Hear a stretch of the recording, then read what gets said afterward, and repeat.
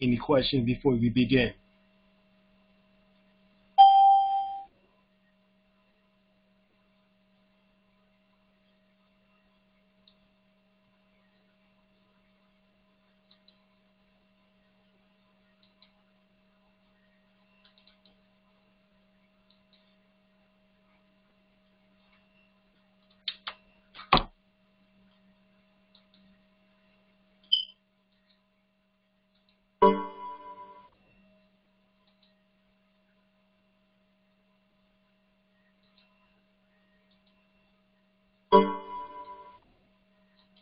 Right, make sure everybody can see the screen.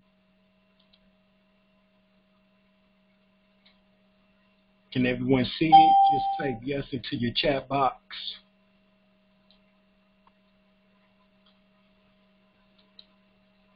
All right, good.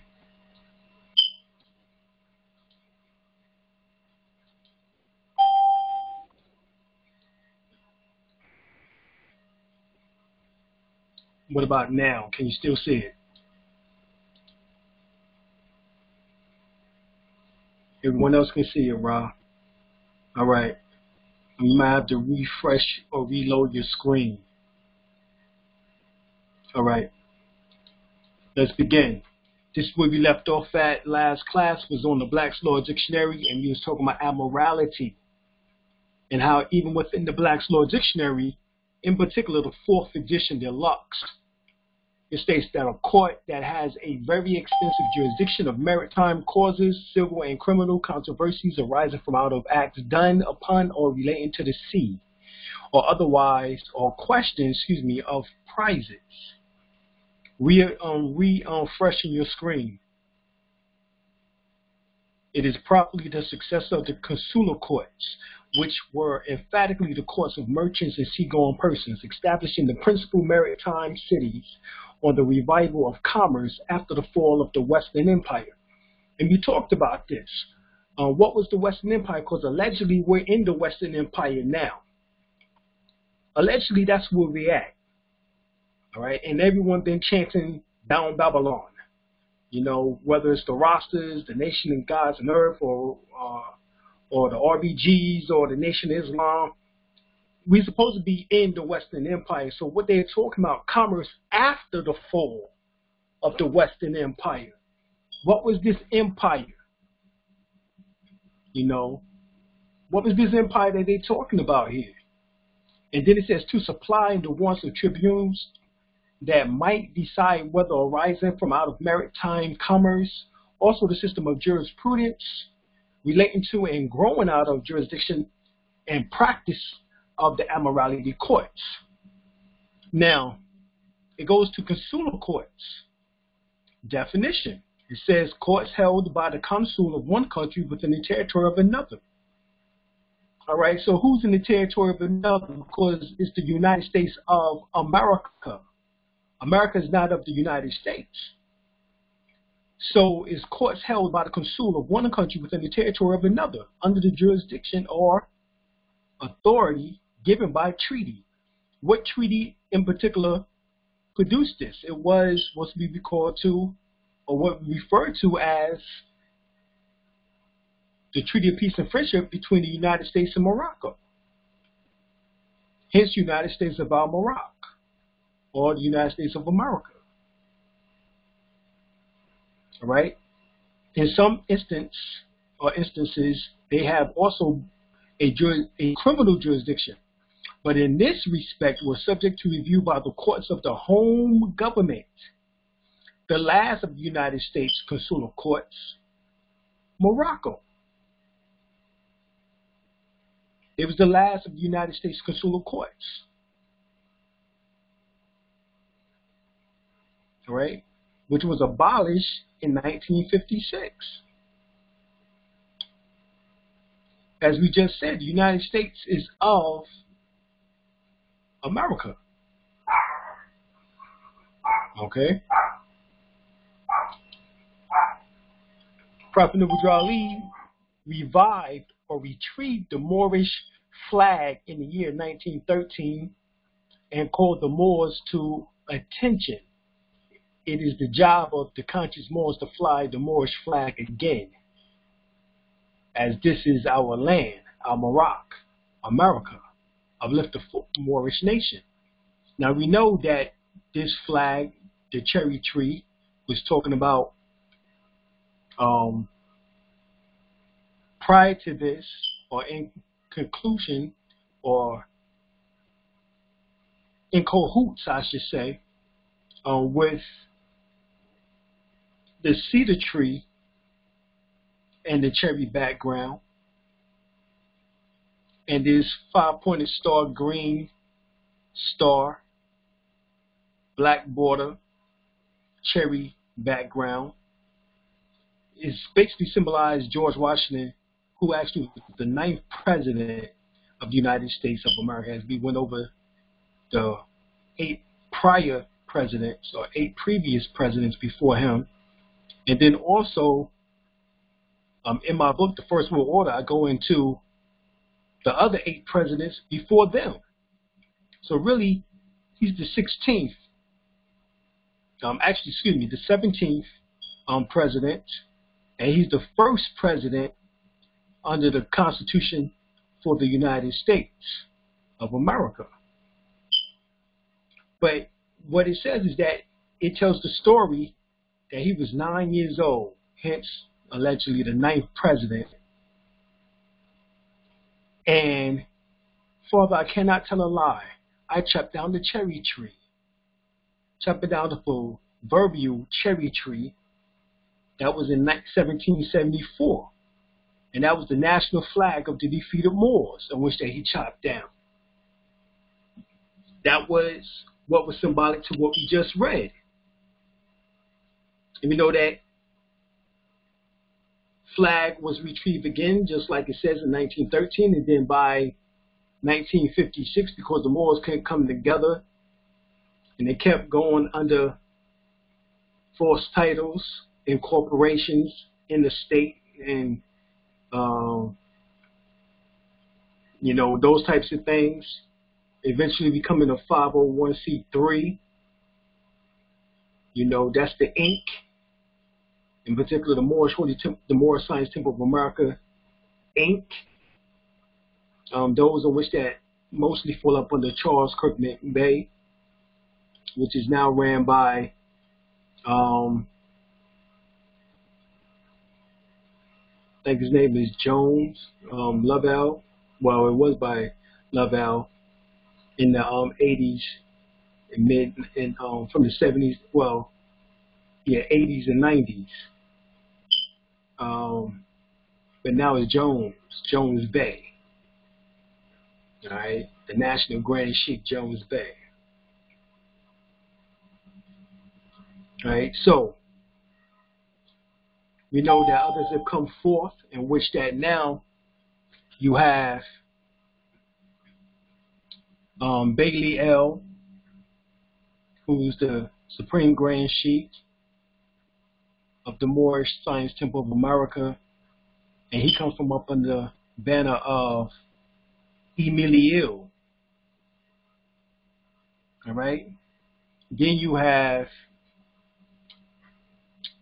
Braswell Bey, um, who was supposedly removed um, by Bailey El And he's supposed to be the Supreme Grand Sheik. And then you have Sadi Ra'el of the Moorish Science Temple of America, 1928. And he is the alleged Supreme Grand Sheik.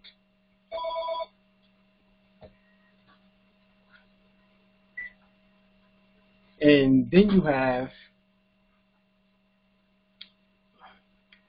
yeah, it gets kind of ridiculous after a while here. Um, but put it this way. Everybody is jockeying for the supreme grand sheik position because Prophet Noble Ali left one person involved or one person at the helm, and that was Supreme Grand Sheik Edward Mealy El. Now, you had John Givens El to come and sit in the seat of the prophet and say he was the reincarnation of the prophet, in which that took some members away. Then you had Kirkman Bey, who roughed up people, him and his thug group at the time. Um, but I mean, even he himself wasn't too much of a thug because he ended up getting kidnapped himself,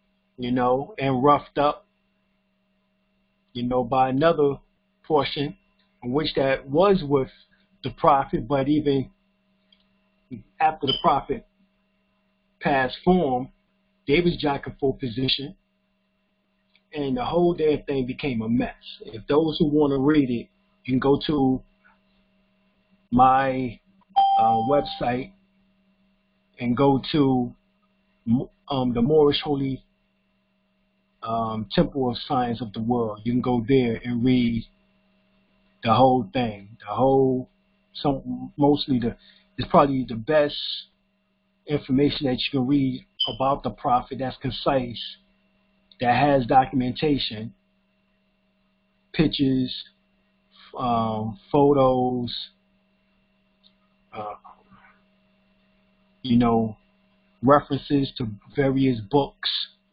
you know. So I recommend everybody go there because um, there's a lot of people that's in denial about what's really going on and what has happened with the temple and with them being infiltrated.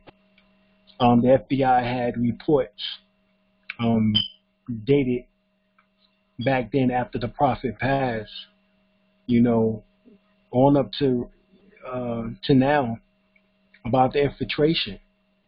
You know, for those that want to see, I mean, you can actually pull it up online. Just put in Moorish Holy, the Moorish Science Temple of America. Just put that in, and then put in FBI, and you can see who's the agents simply by reading the information. But I give everybody name of who was, who was involved, and I give you their pictures, who they were, and everything on the website. But since that was a mess, and really, Prophet was dealing with ecclesiastical law, which means that it was dealing with um, the divine. So hence the reason why it's called the Moorish Divine National Movement. It used to be the Moorish National Divine Movement of the world. Right. It was also referred to as the Moabite Holy Temple of Science of the world.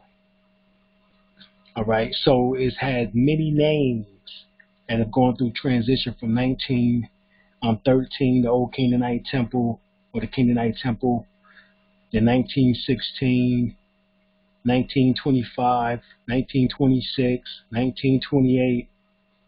Um, the name changed as the headquarters was moved from mostly found in New, New Jersey to what we now refer to as um, Mecca, which is Chicago, Illinois. All right. While the prophet was there in Chicago, Illinois, he put the Moorish Temple of Science, which the Moorish Holy Temple of Science, which couldn't use holy at the time because um, they didn't utilize the religious segment because it was a civic organization. But under that civic organization, the adept chambers were added. The books called the 102s, going to the 101s, which is the Moorish um, questionnaire for children, the Moorish questionnaire for adults, which is the 102 is the Morris questionnaire for children. 101 is the Morris questionnaire for adults or for Moorish Americans. Then you had the Moorish Holy Quran Circle 7. All right. And then you had the Moorish literature, which um, are the words in which that was grasped from the various articles from out of the Moorish guideposts. In which that the prophet made his lectures, his speeches, and it was condensed to become the Moorish literature. All right. You had the divine constitution and bylaws, or the bylaws, Moorish bylaws and constitution. All right, mostly seven articles, in which that correlates to the circle seven which correlates to the seven chakras or the seven Elohims or the seven angels, the seven eyes of Allah, as is mentioned within the 101s and the 102s. So these were the books, all right? So this is just a little history so that y'all can know about the Moorish Science Temple of America, the Moorish Holy Temple of Science, which is the Moorish divine and national movement. All right, the civics and the religious were always supposed to be together, and it was up until 1934, until Charles Kirkman Bey took the gumption in order to form the Moorish Holy Temple, or the Moorish, excuse me, the Moorish Science Temple of America slash Moorish Holy Temple of Science and then with what he did as incorporating it, he removed the Moorish Holy Temple of Science. But until 1934, the Moorish Holy Temple of Science, which was the civic side, was actually used. But Charles Kirkman Bey, they chose to remove the Moorish Holy Temple of Science and only keep the religious side. So hence, the adept chambers allegedly for over 50 years was not even functional.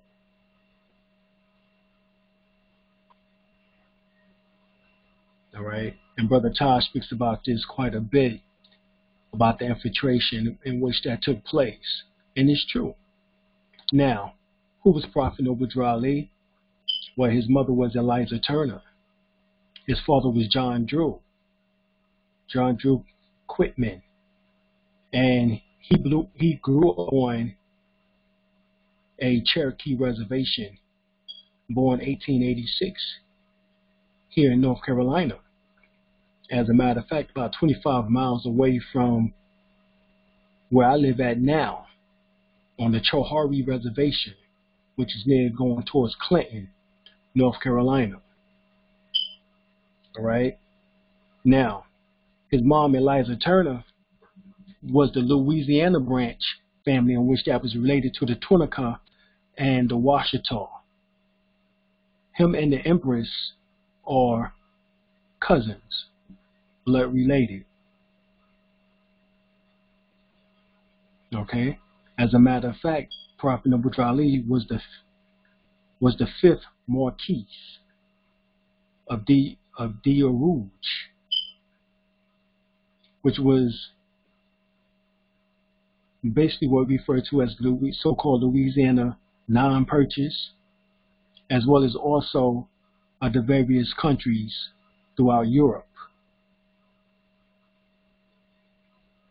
All right, when you go and do your research on what I'm talking about on the website, you will see how they are related. So, the vast estate physically was talking about us having access to over 30 million acres of land stretching from Louisiana on up through 13 states through nearly the whole of Canada.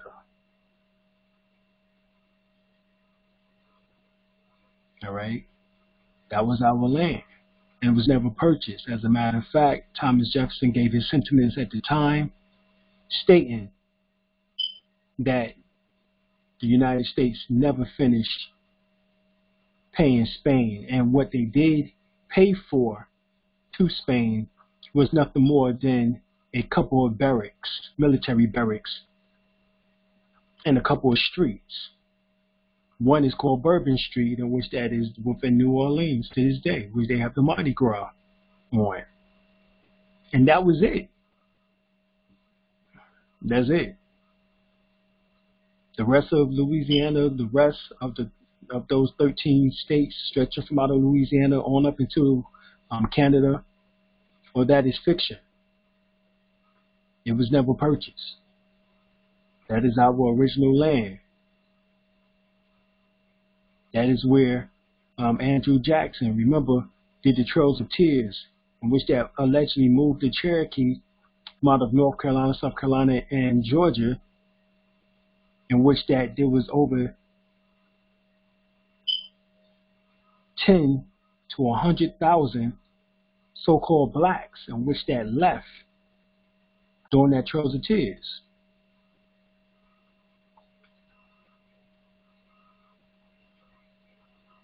Years later, we see it as Black Wall Street in Tulsa, Oklahoma. All right, so we have to realize, you know, these connections, very important, as it helps us to understand what took place and what we have the right to claim.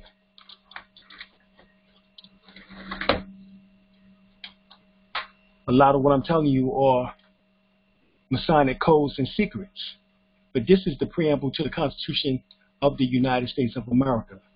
Preamble. We, the people of the United States, in order to form a more perfect union, establish justice, ensure domestic tranquility, provide for the common defense, promote the general welfare, and secure the blessings of liberty to um, ourselves and our posterity, do ordain, establish the Constitution for the United States of America.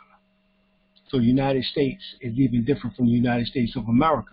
The preamble of the Constitution of the United States or for the United States of America shows that the origin comes from a pre-existing nation. This is the secret of the na- of nature's law and nature's gods. Remember, that's what we just showed you in their own definition.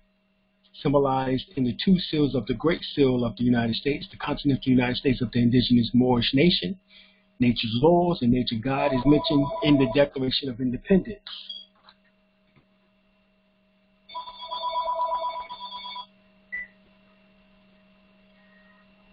All right. Union.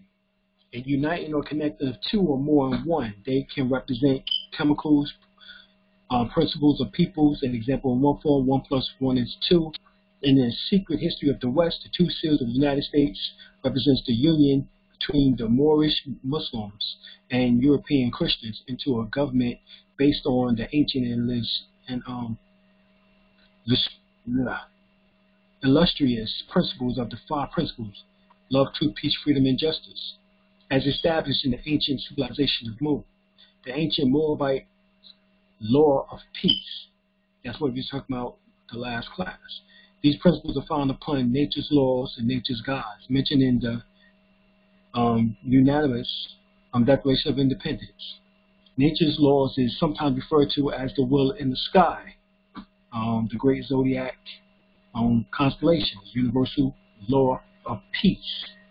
So the civil United States of America is the Albion's Europeans, colony states, the great seal, all right, of the United States is the Moabite Moors, which is the pyramid, um, which is the federal.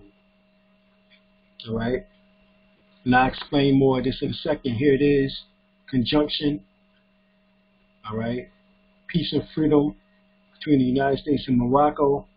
The Albion Europeans, once again, Union States, United States government, or I don't even want to call them that because they they really not a government except only in the terms of the word, like we said, mind control, which the word gov come from governor, and the word ment, short for mental, which means mind control. Um, Moors, Federal Reserve, North America, North America, Northwest Africa. Okay? Know that the number 13 shows up a lot on the back of course, 13 symbolizes a new beginning in numerology, geometry. The United States is not America, though. The United States America is not America. All right? As you see here, this is what they call the United States. So learn the difference. United States citizens, and then as you see here, America, which is the whole America, which is North, Central, the adjoining islands, and South America. That is America, and we are the Americans. There's a difference. All right. The Treaty of Marrakesh, 1786, made between the Caliph Muhammad ibn Abdullah, who was also a Bey, Islamic leader of the Moorish Empire, Maghreb, and the United States of America.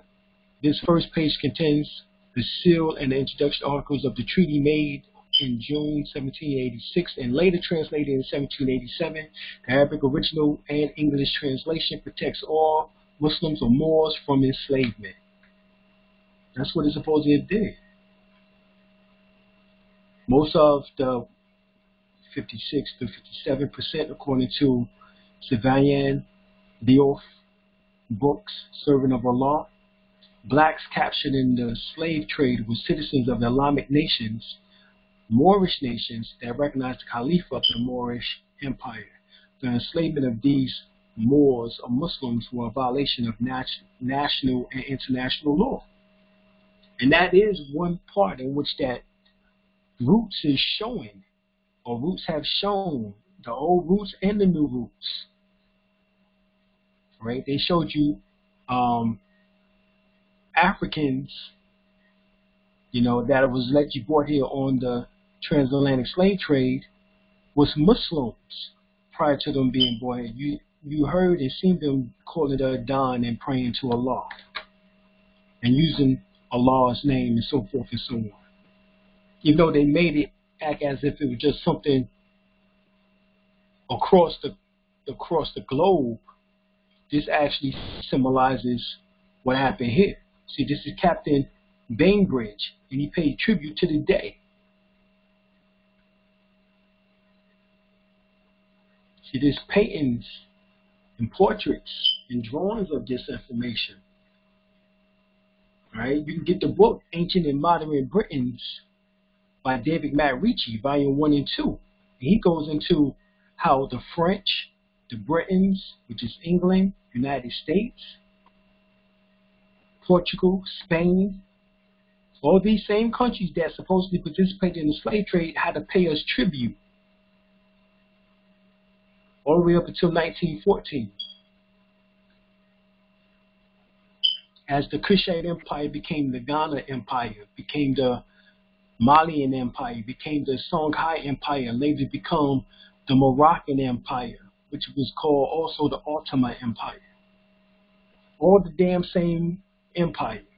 But they got us thinking because of the different times of history, they can call it a different name and throw us off. But it's the same people. We refer to them now as the Olmecs, your descendants. All right? We refer to them now as the Washita, the Washita Empire, or the Empire Washita. You go to the Camp Holmes Treaty. right? Treaty of Camp Holmes. Anybody looked that up yet when I made mention of it? I did that over the last two, three classes. Has anybody looked that up yet? If so, unmute your phone and tell me so everybody can hear it.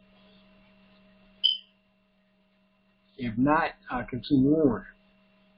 Look it up. I'm not doing these classes for my health.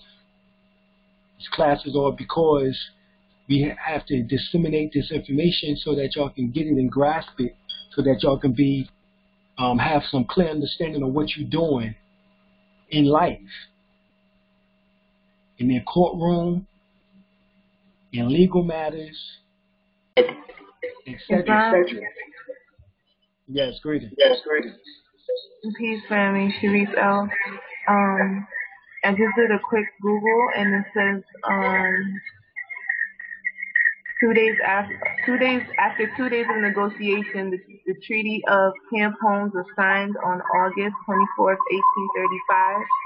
it consisted of 10 articles calling for the Com- Comanche and the Washita to live in peace with the, with the United States Right. and with Right. the tribes that are relocated to the Indian Territory.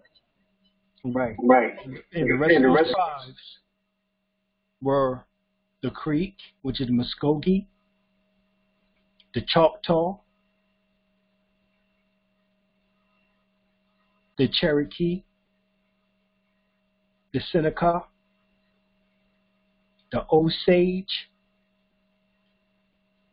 and all of these tribes together formed, well, all of these nations, um, tribal nations formed an empire in which that became known as the Empire of Washita. It was called the Washita Nations. And this is historical.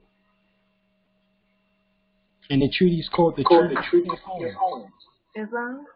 Yes, it's Yes, on. it's on. Yeah, I'll tell you Um, Say. Quick question. Um, prior to this occurring, were they known as the five civilized tribes? yes. Yes. Alright. Islam, thank you. Yes, these are the same five civilized tribes that they refer to them in history as. They call them civilized because they was advanced as far as um, the Europeans are concerned here in the Western Hemisphere. They are the ones in which that this last Western Empire was built on. They was the descendants of the Olmecs. They, they are the pyramid and mound builders. Treaty of Camp Holmes, and Holmes is spelled H-O-L-M-E-S. H-O-L-M-E-S. Camp Holmes, C-A-M-P, Holmes, H-O-L-M-E-S. Okay, this is August 1835.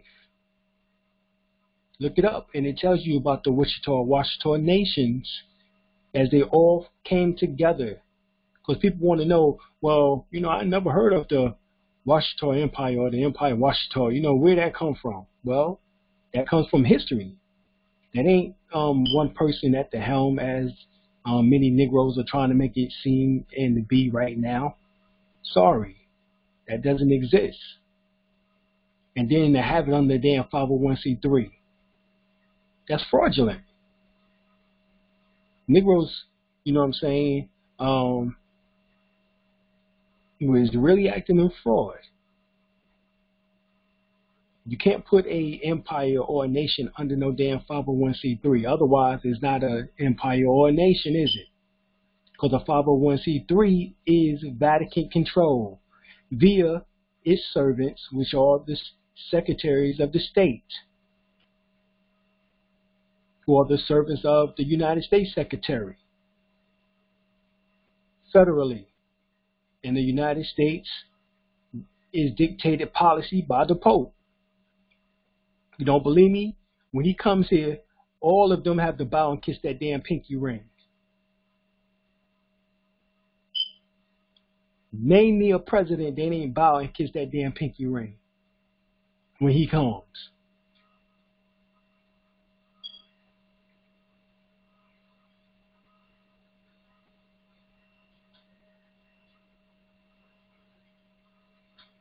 This is what they're doing.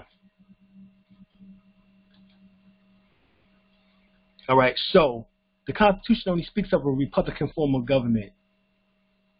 We as United Watchdog do not follow a Republican form of government. We are a council. But for those that speak about the Republic, well, this is the general United States of America and the family of nations, in which that this is what Prophet Noble Ali was talking about was linking us back with the family of nations. Well, the family of nations, if you go to um, Title 36, United States Codes, um, Section 171, I mean 172, you go to Title 4, United States Codes, Chapter 2, Section 41, it tells you of the original, of the older pledge, it tells you of the original seal, um, Title 4, United States Code, Chapter 1 and Section 1, the original flag. Article 4, Section 4, Title 5, United States Code, Section 1501, Section um, um, um, Area 1. It says Republican form of government. That is within the Constitution also. General Constitution, three branches. Of course, we know there's the judicial, legislative, and executive. You have the Congress of the United States. You have the law of nations, family of nations, which is Article 1, Section 8, Clause 10. You have common law, which it was once under Article 3, Section 1, Dash 2. You have Senate of the um, United States, Article 1 and 3. Excuse me, I, I, I skipped natural born citizen. That's in the Republic. And they're still not American. Okay? Even if they was born here, they're not American. They're United States citizens. And it's for anyone who are not indigenous. Because the word indigenous is talking about native. It's talking about aboriginal. It's talking about American. It's talking about natural person. Right? So just because a person is born here it doesn't make them um, natural. Doesn't make them a citizen. All right.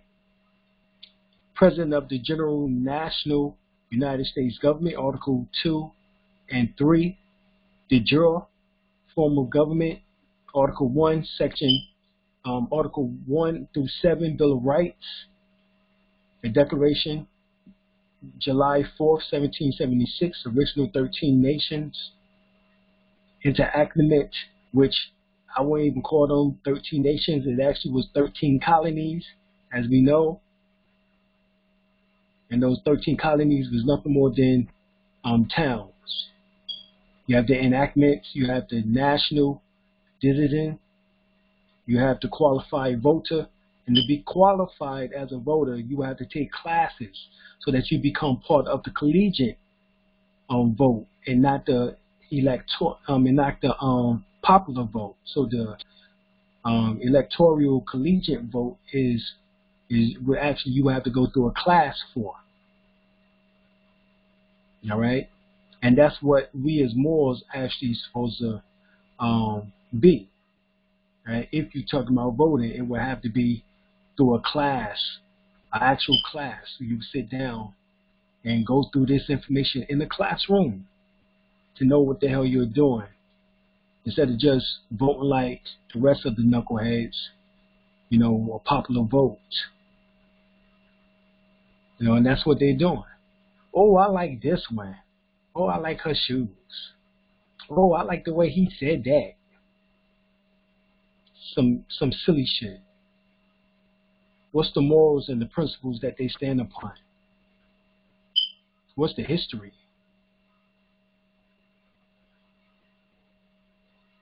But here we have the administrative government of the United States in the United States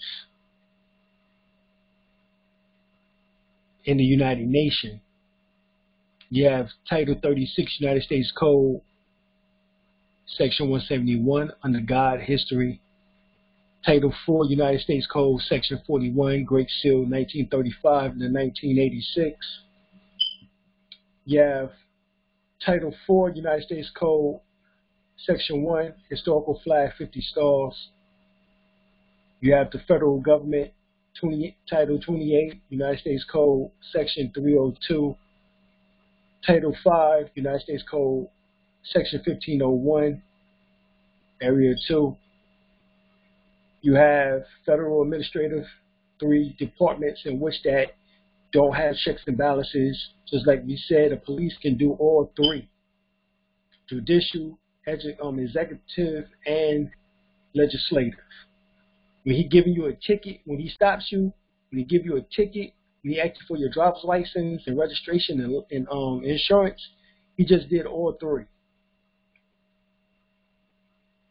A damn policy enforcer just did all three branches of the government on your ass. All three. United States Congress, is not the Congress of the United States. As a matter of fact, the United States Congress um, came into play after world, um, after um, the Revolutionary War. Excuse me, the civil, after the Civil War with Abraham Lincoln after he got assassinated. Prior to him becoming assassinated, he put the country under martial law, and Congress has never voted to remove that process. In fact, that process continued to go further on, and by 1933, June 5th, as they moved the um, money from off the gold standard, it made the people the enemy of the state. The country was bankrupt by 1871. It was bankrupt. It was already facing problems.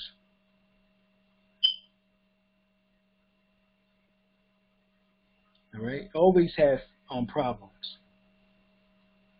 All right, so you have the laws of nations, family of nations, Article 1 and um, 8 Clause 10, which is on number 7 on the original side. Now you have the United Nations. Everything in which they did, as you see, was a mirror or a duplicate of the original in order to make you think that you was in the realness. This is the Dorothy um, wished away from um from a you know into a tornado from out of Kansas into the land of Oz type of shit is what took place. So instead of common law, you got statutory law. But there's no dictionary, no encyclopedia on statutory law.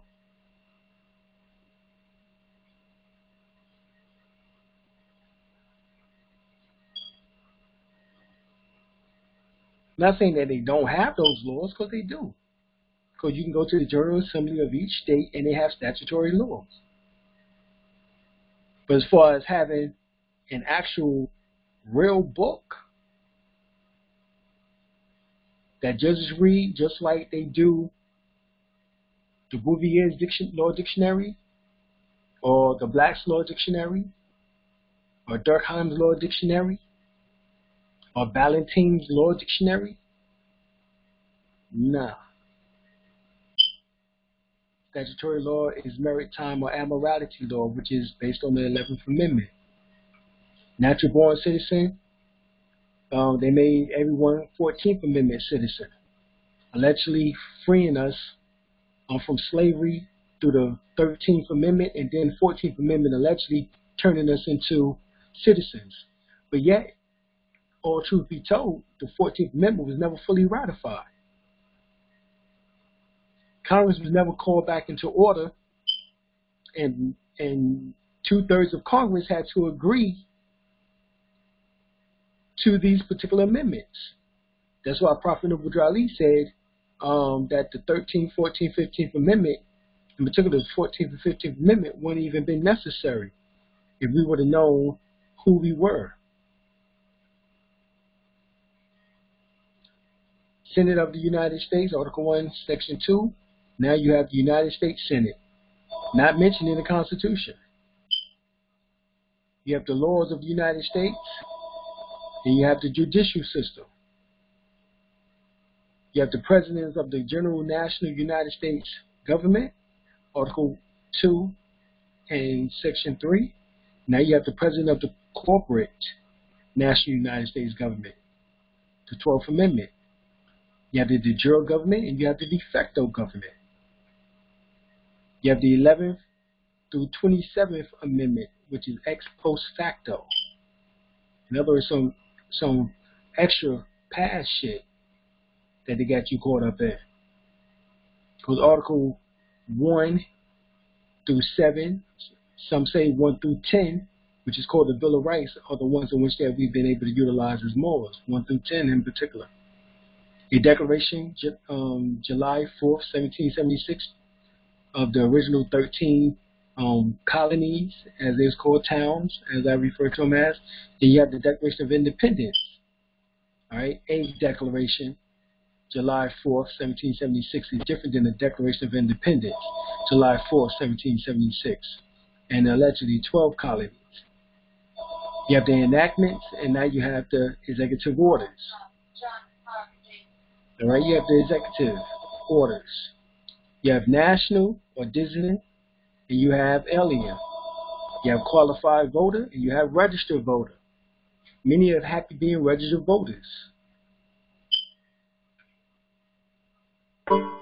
Registered voters only give you the ability in order to vote within the um, within the popular vote.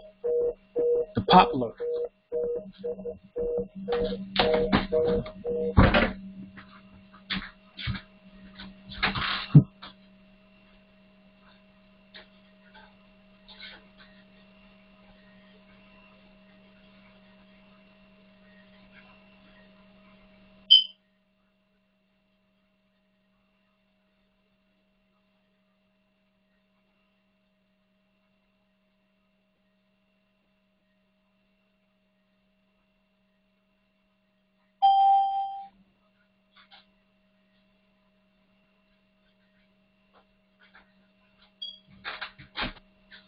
You know, I think that's a that's a shame that here we are, we have answers, and we have people who don't want to follow through. You know, that you know you have some morals who say vote, and you have some who say don't vote. But even if you did vote, as being an American or a national, or in this particular case, a non-U.S national, as you're not part of the U.S., you're what we refer to as an American national, for lack of a better term. As far as politically, let's just say that way. All right, so you need to know this. Also, your birth certificate title created by the state and your live birth record, which you have from us, is title created by life. There's a difference. Baby born endowed. Cargo birth delivered. Your mother autographed to establish that you are the holder of this state in due course. Informant autographs as indicated that you have no paternal holder, that you're not a, no paternal holder of this state. What's the estate? The estate is your birth um, certificate. It needs verification or predicated on your birth certificate. Mother gave maiden name, which indicates a bastard later stillbirth on the register. Register signs your estate into probate and you become a ward to the state. Given a lawful name, lawful name is privately recorded, traditionally within family name, Bible, Quran, etc., etc. Name is corporatized. Dignitary name is, is publicly registered, combining your given and family names. Title, your given name, corporation, trade name, rightful beneficiary of trade name, unwitting trustee of trade name. Format in handwritten, in proper grammatic English, latter usage showing you or your title as unique. John full colon of family name. So John full colon, or as we would say, Ali full colon Bey, or of the family Bey. Now you have the format in either handwritten or typed, not necessarily all caps, which is often later used to indicate the legal name. Um, most times the name in all caps is, of course, is what we know is on birth certificate, driver's license, social security card, tombstone, etc., etc. Capitis um, um, minima, the lower or least comprehensive degree of loss of status, rights of liberty and citizenship unaltered. Black's Law, second edition. Right? Then you have the maxima, which is the highest or most comprehensive loss of status. Change from one's of freedom to one of bondage. And of course, like we said, the birth certificate is a bond. It has a bond number on it, which is the numbers in the array. And when you come of age, when you mature at 18, hence you put the word bond and age together, and you have the word bondage, as you see here. All right. Then you have sovereign, um, sovereign public trust. At age 18, you become the executor of the estate as a free man, woman in your sovereign trust, as the holding due course. In a permanent trust, you can now, at any time, claim legal title to your estate property. Well, you have the foreign successors trust, a trust that is formed by splitting your estate, creating a legal title holder for the state and an equity title user for you and it is a temporary not permanent trust right? You only have possession. Use not legal title of property. Now you're beneficiary of sovereign public trust state is your public state trustee or servant trustee with a fiduciary duty to protect or serve you, the rightful beneficiary of the public trust. State is beneficiary of the foreign use trust. State is holder in the let's go back, excuse me. Um, is holder of your estate or property used as a as a surety for the IMF or International Monetary Fund debt obligation which is through the Federal Reserve Bank and is the beneficiary of the SEDIS Trust. What is the SEDIS Trust? The SEDIS Trust is your birth certificate. That bond number ties to a trust in which that the state is claiming to be beneficiary of. They have a benefit in that. And their benefit is that they're selling that bond, the original one at least, which is called your live birth record, the one with your footprints on it at a 45 degree angle, they're selling that on the open stock market for hundreds of millions of dollars. You don't believe me? Look it up. Go fidelity.com.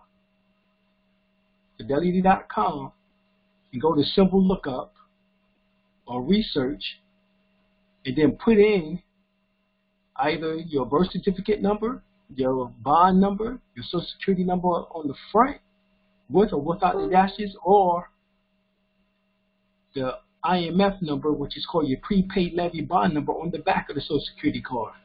Either one of those four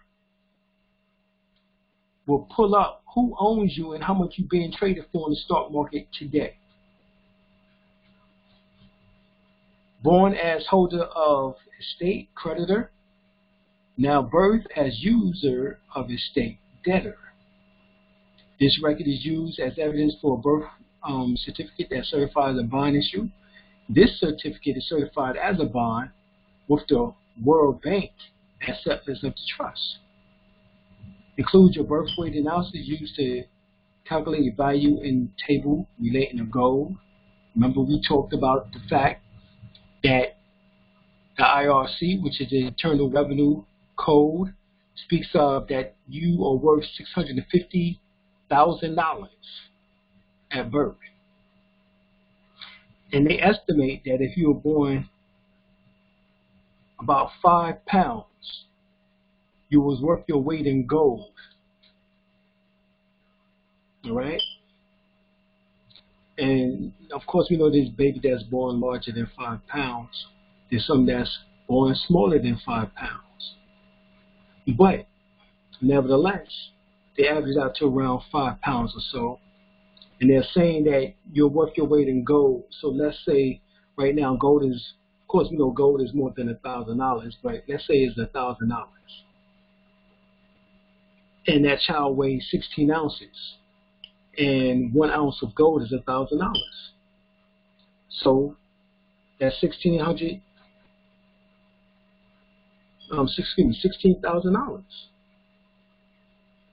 Then the bank gets their hand on the bond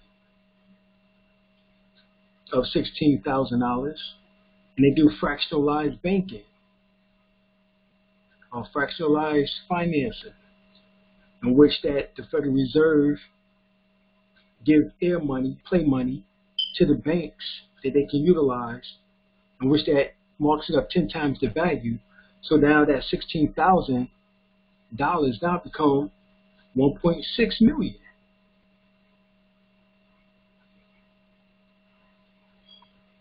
Okay?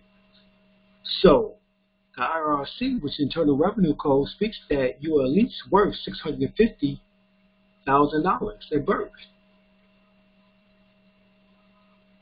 All right? So, you knock a little bit off of that, and you can see where the value in gold comes from. Hence the reason why Dorothy was on the yellow brick road, which was gold because it was stating that she was worth a certain amount. That's why she was going to the Emerald City, symbolized the Federal Reserve Bank, where they make the greenbacks. Hence the color emerald, green.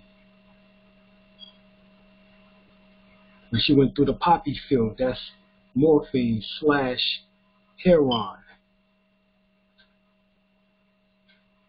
She fell asleep. 90% of the drug trade of, of um, heroin, which is smack, is ran through China and Afghanistan.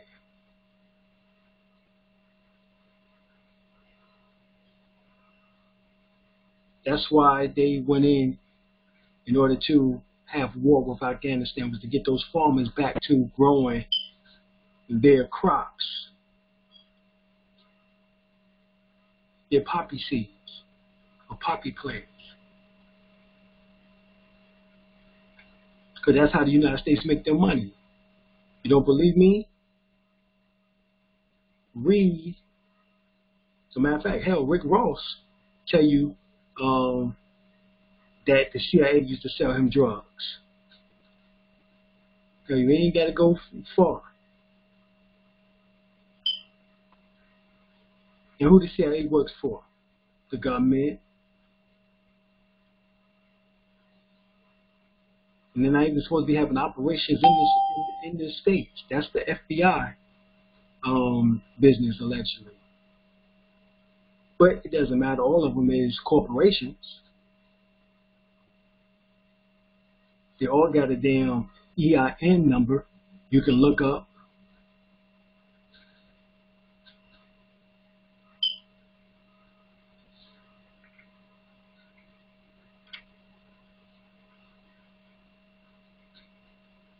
were inhabitant, born on the land with inherited judicial jurisdiction and under common law of land.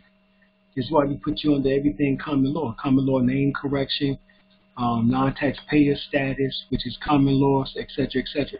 Here you have foreigner, aliens under commercial jurisdiction, and later also admiralty maritime law of the sea. Remember, that became the said law after collapse of the last Western Empire or the fall of the last Western Empire who dealt with consular courts, which was the original courts by merchants and those who traveled on the seas. So this is once again some mirror shit that they did in order to make us think that they were still operating the exact same way, and they're not. This document establishes your estate, which can be then stolen, but it is also your affidavit of life and birth of claim. Well, this document converts your estate into a tradable property and puts you to work for the foreign Setches Trust via the name, which is the birth certificate. Inherited right to title. You're a holder of your sovereign estate. Title claimed by state, false presumption, claims and contracts or prima facie evidence, which means it's true until you rebut it. So you never say that that's not what happened, then they can assume that it did and therefore put your ass in jail. With or without a witness, even though based on Chevron versus Collins, there's no crime if there's no corpus delicti. There must be a corpus delicti. There must be an injured party for a crime to exist. All right? For a crime to exist, there must be an injured party. Or damaged property and a sworn affidavit attached stating that you damaged it, someone was an eyewitness to it, and it can't be the police after the after the fact because he never eyewitnessed it. And it can't be the DA getting up speaking on behalf of the state when the damn state was not the eyewitness. The people were not an eyewitness. There was no eyewitnesses.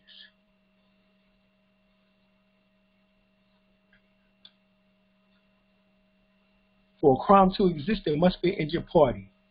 You have to remember that. This is why Obama letting out those who allegedly committed victimless crimes. There was no injured party, which is mostly drug offense. Drug offense.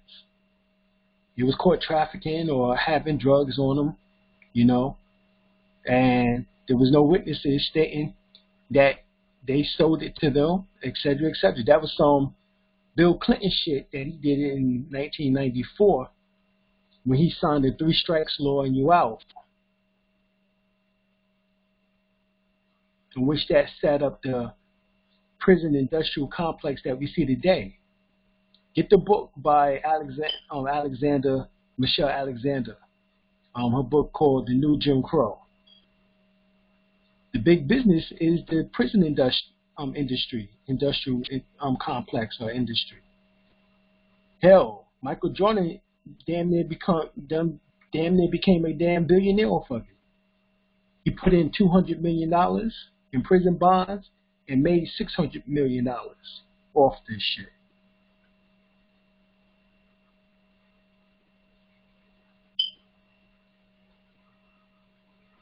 And plus niggas are still buying his shoes. That's a serious ass come up. As he is a serious ass gambler. Still, even after his father got murdered.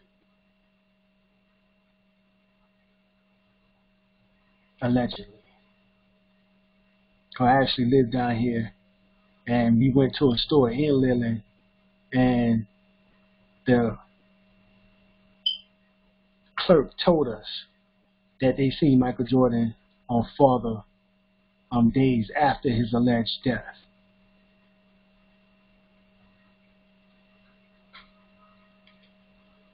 It is said here in North Carolina that his daddy um, had to fake his death because um, they was trying to um, mob or you know there was several um, people who was after him and Jordan for debts for gambling type of thing.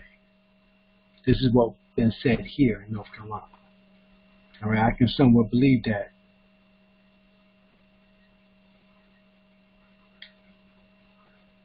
All right.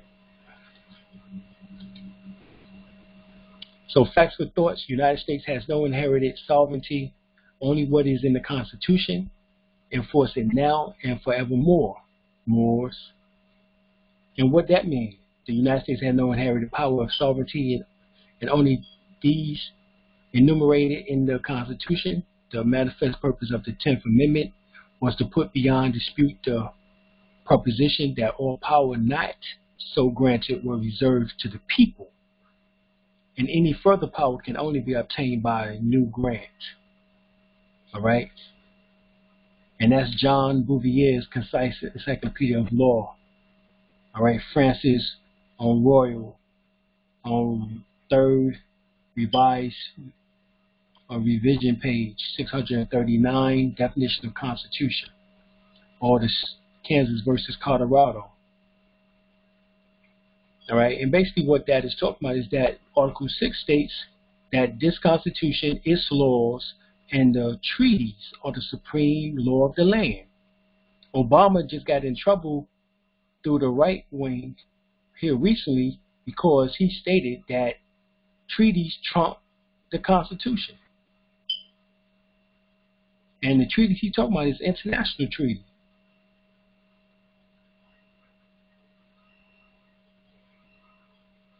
right, as he signed onto the international treaty the main one in particular, the Declaration of the Rights of Indigenous People from the United Nations. As the United States sits at the helm of the Social and Economic Council.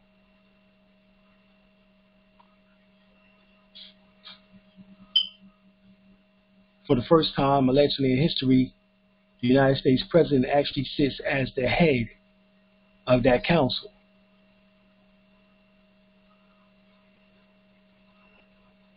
Some say he's going to stay in Washington after he leaves the so-called White House. They was talking about this on the news um, last week. Some say he's not going to leave. That some type of disaster may happen or occur in which that elections get postponed or whatever the case is. We don't know. But I've heard all types of things.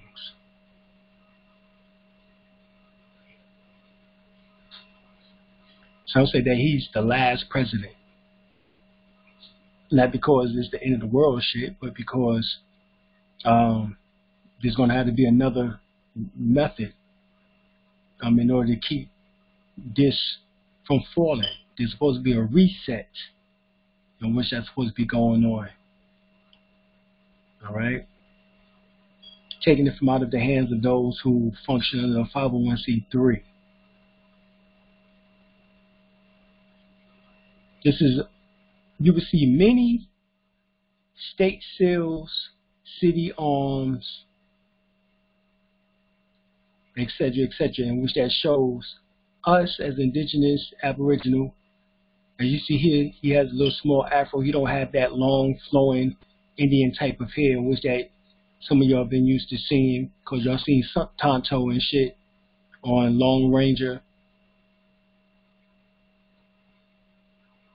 y'all seen um, these new uh, fangled Indians, as they refer to them. Okay? But as you see here, it was together at one time. The Eagles sat at the top, as you see here. And we was also at the helm. This is when the United States Corporation came up under America for protection from the Britons. And this is his this is history. Because who was going to protect them? They was new here. They didn't even know how to grow their crops based on their own information. So we had to teach them how to grow crops, how to survive during the winter times, all this.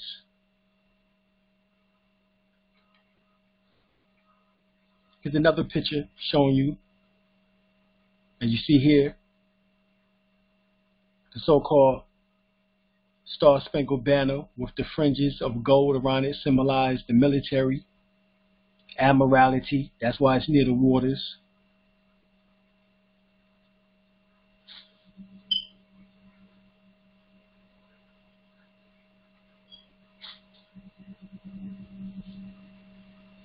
We're right next to it, symbolize. I'm pretty sure the Moroccan flag was there. But they said, uh, make sure y'all get that out the picture. But luckily, they still left the sister in order to show you that this was you and which that they had this treaty with.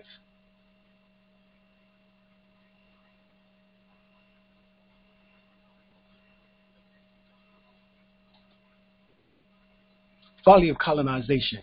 Now I hold that the American Negro owes no more to the Negroes in Africa than he owes to the Negroes in America. All right? There are millions of needy people over there, but there are also millions of needy people over here as well. The millions in, in America need intelligent men of their numbers to help them, as much as intelligent men are needed in Africa to help her people. Besides, we have a fight on our hands right here, a fight for the redemption of the whole race, a blow struck successful for the Negro in America is a blow struck for the Negro in Africa. For until the Negro is respected in America, he needs not expect consideration elsewhere. Check out what he say now. All this native land talk, however, is nonsense. Talking about Africa, that is. Because you said the native land of the American Negro is where? Is America. The native land of the American Negro is America.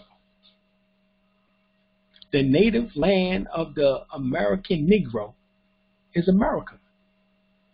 Who said this? The brother in the upper right hand corner by the name of Frederick Douglass. Once again, the native land of the American Negro is America.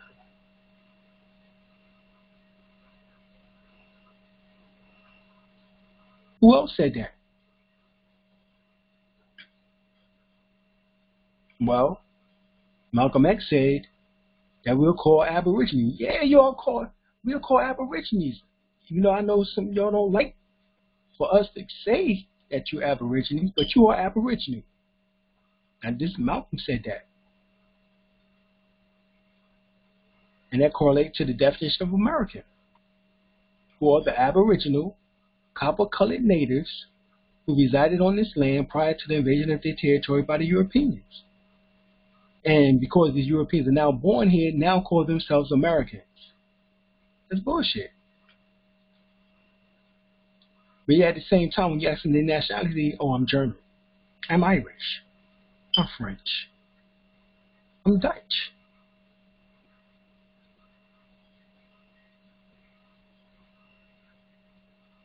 But that means you can't be sovereign here. You can only be title sovereign, and that's only through us the one who have the superior claim of lien on this land, which is America. Once again, the United States is of America. America is not of the United States. When have you ever seen America of the United States? So who has the superior position? The native land of the American Negro is America. Who else said that? Martin Luther the King. Martin Luther the King said it too. He said, for the last 200 years, we lie languish in our own land, enslaved. He said that. That we was enslaved in our own land.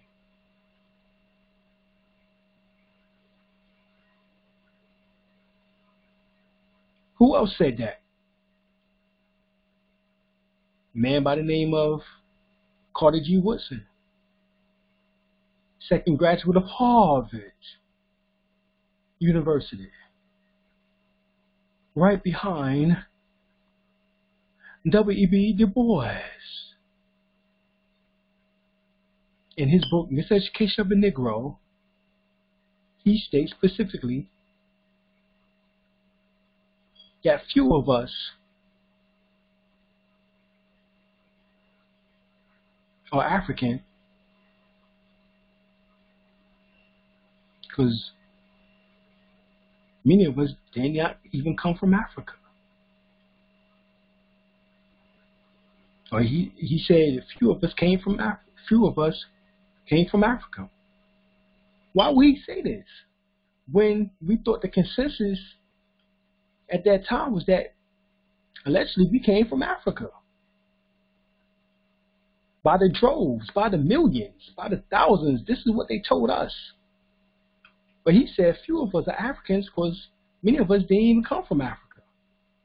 This is in his book, Miseducation of the Negro.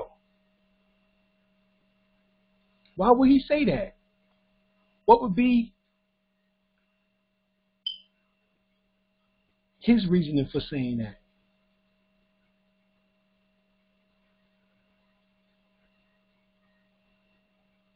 everybody know we're looking for nationality and haven't claimed one yet. Hell, Dr. John Henrik Clarke said that.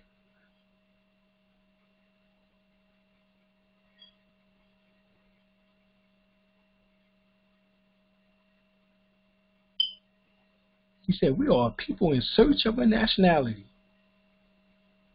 And when we obtain a nationality, it must instantaneously link us back to land, culture, and nation.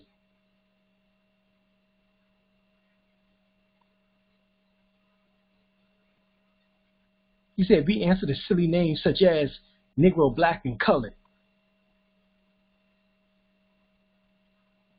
This is what Dr. John Henry Clarke said.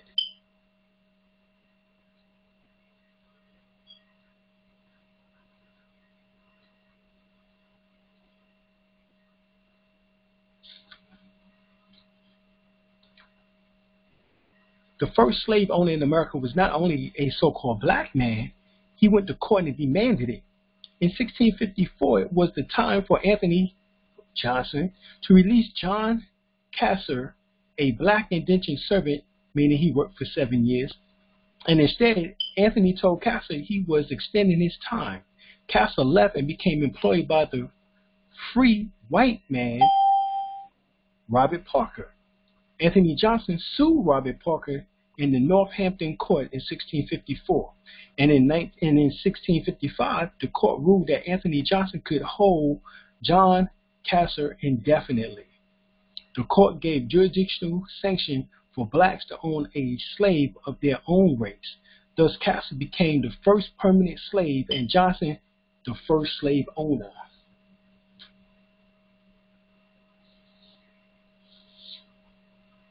This is allegedly what happened.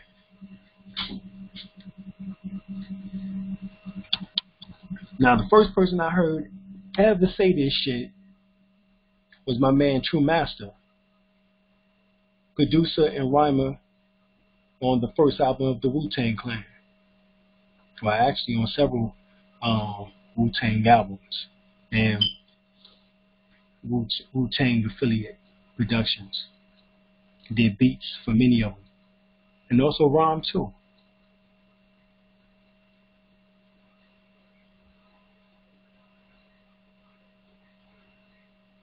Right, exactly.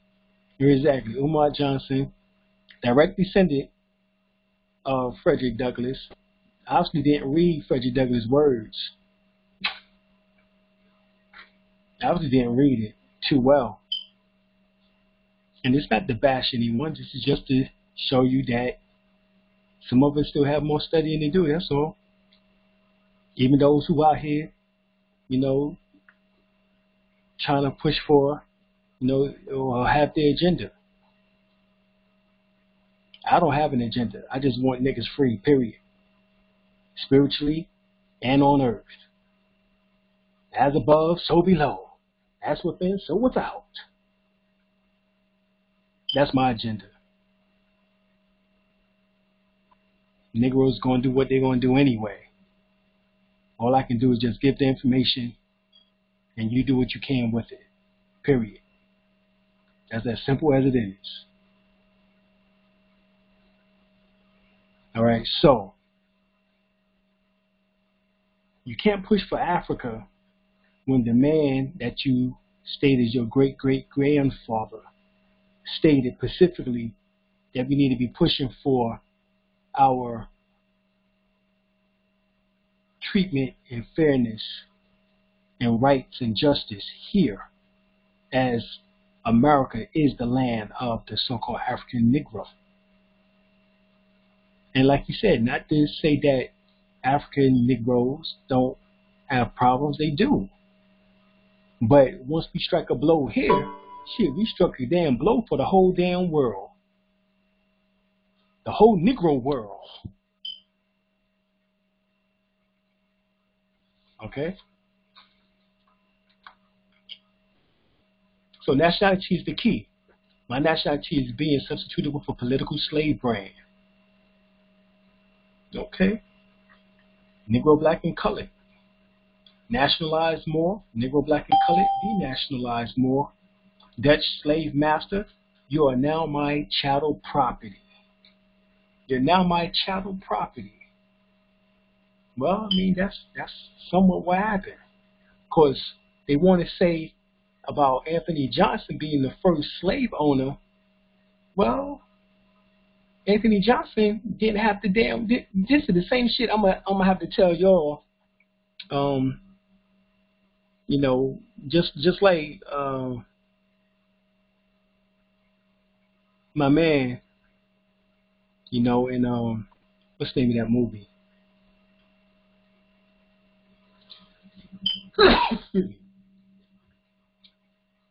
um, Miss Hawkins. We don't have any planes, Miss Hawkins. We don't have any boats, Miss Hawkins. That's Wesley Snipes. I, and he was talking um, in the movie uh, that blew him up. Y'all, y'all might remember that movie. But he was basically saying, we don't have any boats, we don't have any planes, we didn't have any um, you know, way of bringing the drugs in, well, same thing. Nino Brown, yeah, Nino Brown, that's it. So we, it's the same thing. We, we, I didn't, I didn't read in any of that information about Anthony Johnson that he had a boat, or that he had, or ships, or you know, or, or, or, or you know, or some type of, you know, transportation. So he didn't go. Obviously, he might have went to the auction and, and got the nigga, but he didn't go to um, the West Indies or Caribbeans. He didn't go to South America, Central America, or to the Pacific Islands. He didn't, he didn't do all of that. Okay, and this was 15, um, 1654 and they want to say that that's when, um, but you know that we heard that there was 20 Negroes who was there in 1619. That's 40 years, nearly 40 years before that incident.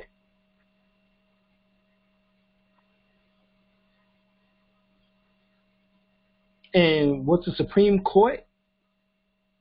And see, this is what we have to ask the question. Is this fictitious? Because was the Supreme Court even established in 1654? Look that shit up.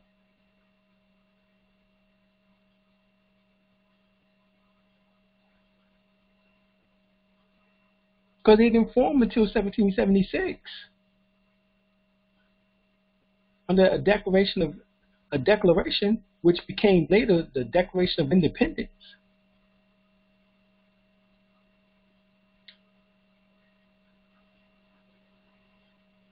That was more than 120 years later.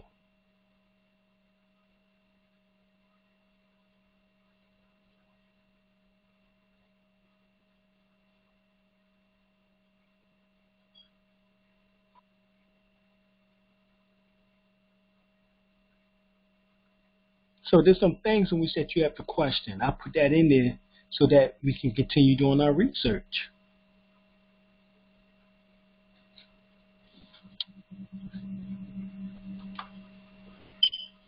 Because there's nothing worse than a slave with an ego. And many of our people who are slaves have some big ass egos.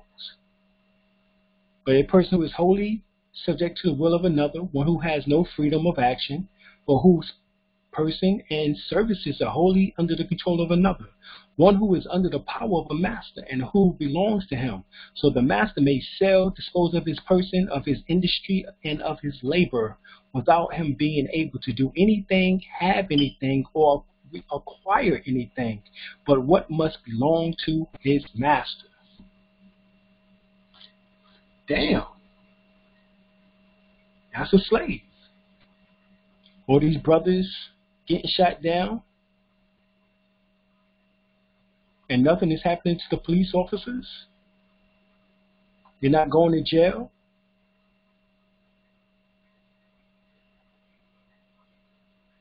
What is that to us? Well, it says it right here. You may dispose of his person.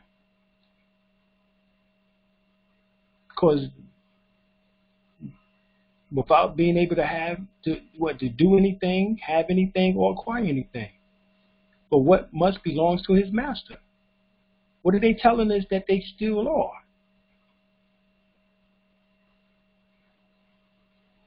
And as long as we're the Negro, Black, and Colored, those fictitious artificial labels, well, we are the slaves.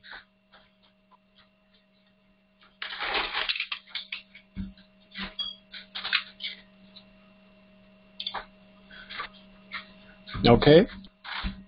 So, look here, chattel. An article of personal property, any species of property not amounting to a freehold or fee in land. Fee in land. The term chattel is more comprehensive than goods, as it includes animated as well as inanimated property. Black's Law Dictionary 4, Black's Law Dictionary first for slave and chattel. So we know that slaves are chattel property. That's what we just seen when you um, um, over the head of the of the Dutch master saying that um,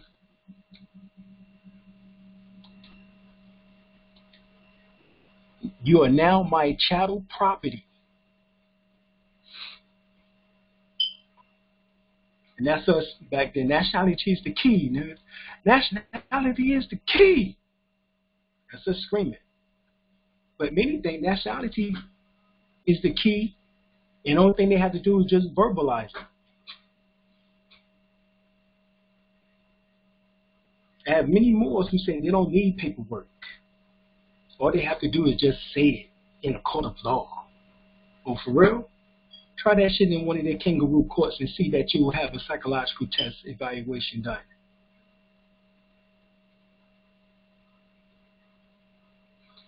You need a paper trail in their courtroom.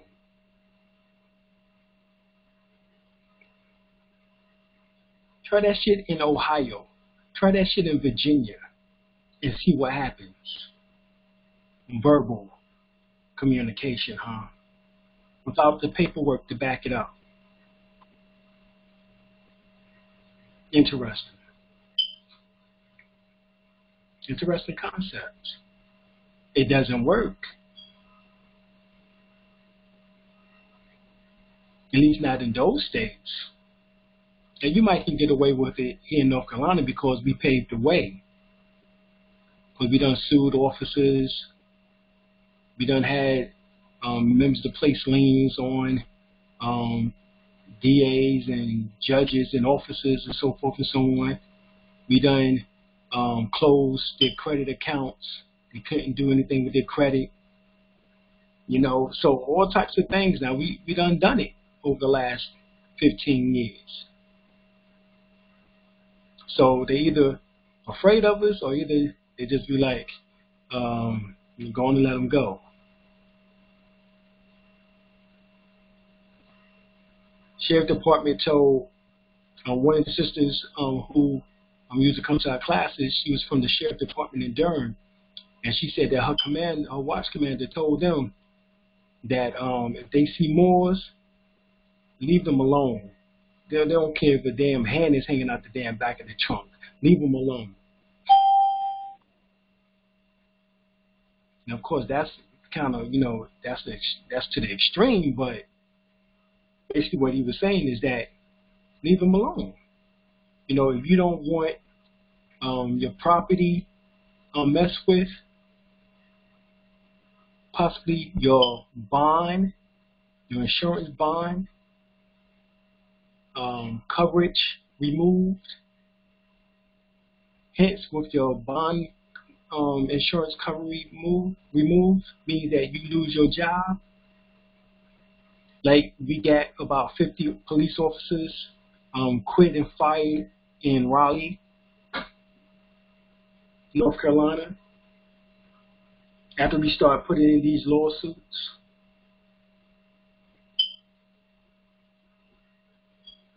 So this is real, but you have to be in your proper personas de juris, not pro se, and not Negro, black, and colored status.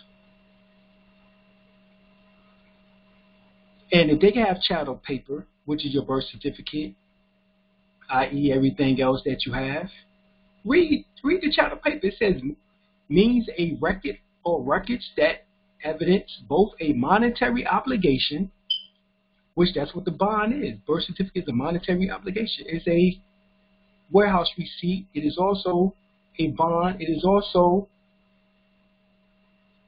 a security interest in Pacific Goods. And you're the goods, remember? Chattel, more comprehensive one than goods, as it includes animated as well as inanimated property or objects. Record that evidence a right to payment arising from out of the use of a credit or charge card or information containing on or for use with the card.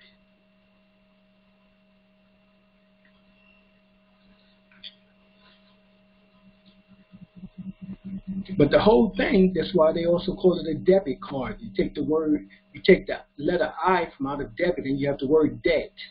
D-E-B-I-T, D-E-B-T. Debt. So chattel paper correlates to all of this particular information here. So they got chattel papers on you, and you're not supposed to put in any documentation, affidavits, to state otherwise, to state your position. Really?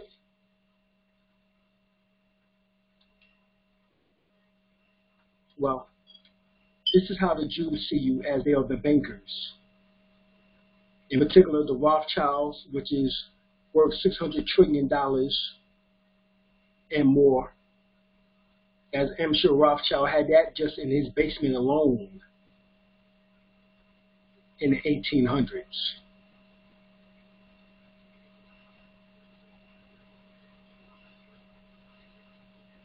Okay? They were the financiers for the Vatican.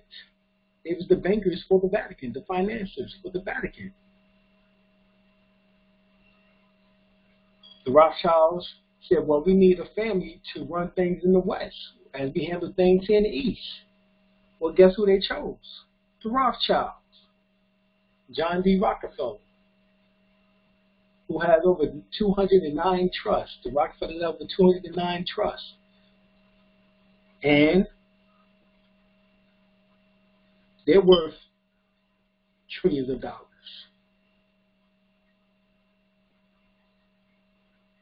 Or they just say multi-billionaires.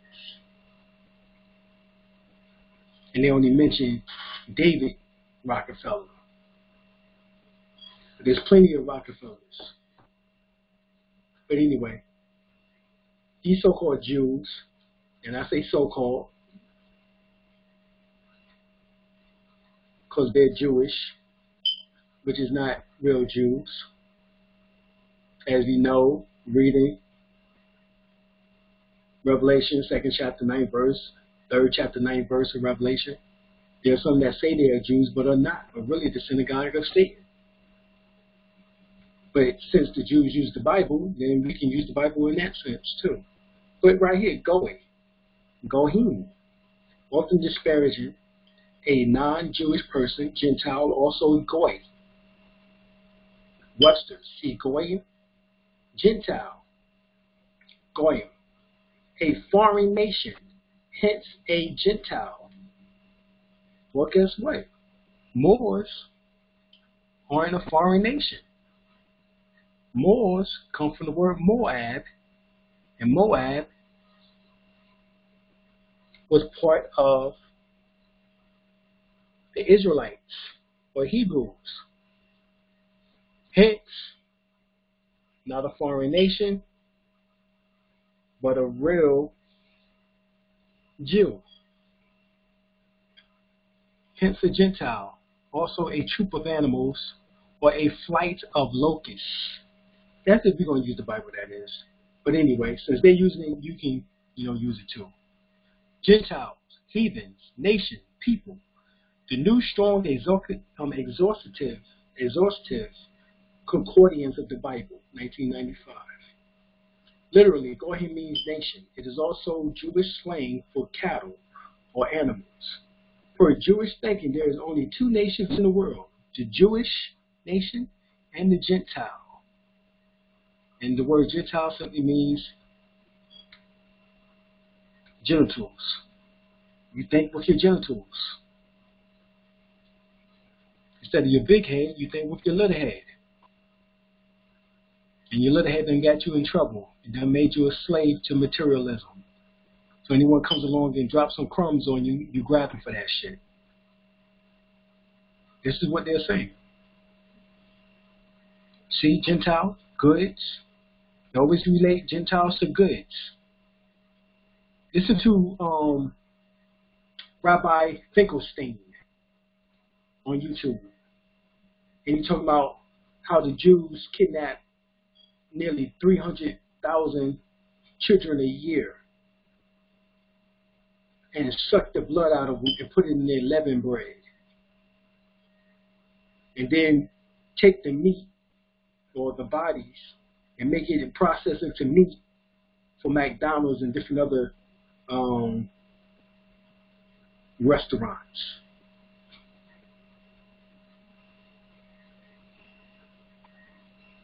The Jews got busted recently for a black market organ, um, um, on the black market on organs. New York to Chicago, Detroit, so forth and so on.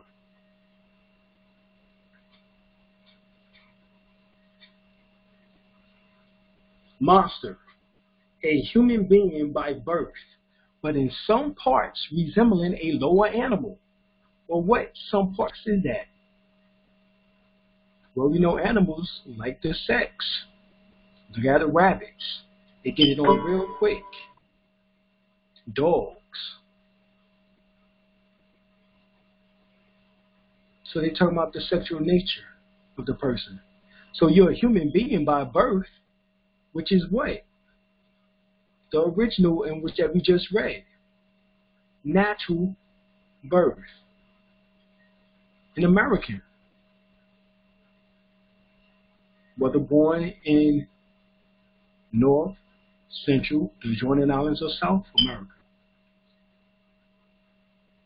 But in some parts resembling a lower animal, a corporation, a corpse. a monster has no inheritable blood and cannot be heirs to any land. Well, that's the reason why they turned you into a corporation, i.e., straw man, i.e., straminis homo, i.e., chattel, i.e., goyim, i.e., monster. Because none of them can be heirs to any land. Hence the reason why they have to keep calling you Negro, Black, and Color, African American, etc., etc., keep changing their names to labels in which that does not denote to land connection. Law Dictionary, 1930. A prestigious birth, a human birth or offspring not having the shape of mankind, which cannot be heir to any land, howbeit before in marriage. Ballentine first um, Black's Law Dictionary one. No, under human being, Ballentine state only see monster. Neither the major above major law dictionary define human being, only monster. They don't define human being. Because then they won't be included because they mankind. A kind of man, not quite human.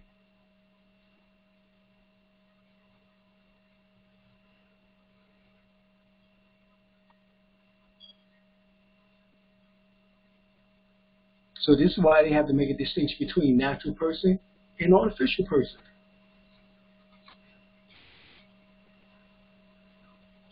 You know the name in all caps is what they use. That's the legal fiction. The fictitious name, artificial, artificial person, the idem sonans, the informer. Idem sanan means sounding the same or like, having the same sound, so Jesse Jackson, name it up in lowercase, still sound like Jesse Jackson. Name in all caps.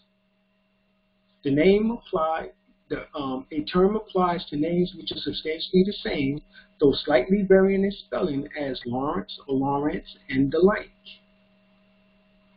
Your strawman trade name in all caps sound exactly like your true name, initial letters only capitalized when spoken. When written, however, the two names represent two entirely different entities, one in the legal construct and the name of the artificial person under whose trade name can conduct business. The other is your true name and reference and identifies you and expresses your standing as a sovereign. Both names constitute property, however, and may be copywritten under the law. So, what the Moors do it says in order to even not even have that discussion, I might have been Jesse Jackson. I'm no longer that. I'm Mustafa El Bey. Change name altogether, and that way you create a total separation from that entity in which that they have in all caps, in which that they have on the stock market. Negro. The word Negro means a black man, one descended from the African race, and does not commonly include a mulatto. Felix versus State 18, Alabama 720. But the laws of the different states are not uniform in this respect. Some includes in the description Negro as one who has one eighth or more African blood. Term Negro means necessarily person of color, but not every person of color is Negroid. Negro. Rice versus Gong Lum. 139 Mississippi 760. The word Negro is derived from the Latin word Niger, meaning black. Niger, a Latin word, was formerly used by the Moors, the old Romans to designate any black inferior object, etc., a plant, a marsh, flat, moist ground, bog, or animal. Micah, the uh, Mizraite, a prophet of the Moors, prophesied in the days of Hezekiah, king of Judah, and spoke to all the people of Judah, the Moors, saying, Thus readeth the Lord of hosts, Zion shall be plowed, um, plowed like a field, and Jerusalem shall become heaps, a forest. Well, black person. Black person, according to the Constitution and law, must be taken in its generic sense as contradiction from white. Rice versus Gong Lum, once again, 139 Mississippi. Now, we just seen Negro defined in Black's Law Dictionary, and now we see Black person defined in Black's Law Dictionary. Right? It says black person is a generic term in its generic sense.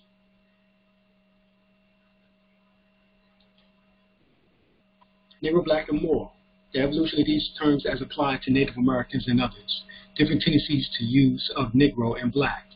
In 1854, the California State Supreme Court sought to bar all non-Caucasians from equal civilization, citizenship, excuse me, and civil rights. The court states the word black may include all Negroes, but the term Negro does not include all black persons. We are at the opinion that the word white, Negro, mulatto, and black people or person, whatever they occur in our Constitution may be taken in its generic sense, because none of these words are in the Constitution. Thus, the word black person in the 14th section um, may take as contradiction from white and necessarily include all races other than the Caucasian. All right? It says includes all other races other than the Caucasian. It convolutes, convolutes, as the quote may be, it expresses a strong tendency in the history of the United States, a tendency to identify two broad classes of people, white and non-white, citizens and non-citizens, or semi-citizens. That's what we are right now. We're semi-citizens. The word block, pale, blocking, blacken, to become pale, to turn white, to become black, to be blackened, block, ink, bleak, pale, bleak, bleaker, to bleach, also to lighten, um, bleak, pale, bleaking, to bleach, blotch, pale, bleak, blatching, bleach, black, black, pale. It remarkably the black, bleak, and bleach are radically one word. The primary sense seemed to be pale. this is from the etymology dictionary. So black means pale. If you are pale, by definition, means dimmed of light. If you are dim of light, meaning that you have little light, you know, uh, you don't have much light, and you're dim of light. I mean, hell, even Christians got that shit right. Just little like of mine, I'm gonna let it shine.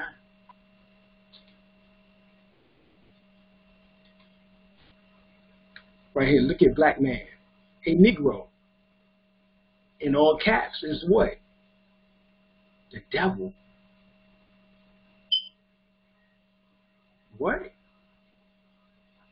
Damn, let's let's go back again. Black man, a Negro, in caps, the devil. Mm. Look at black man now. This is a noun, y'all. This black man, who's a noun, he's a what? A funeral director.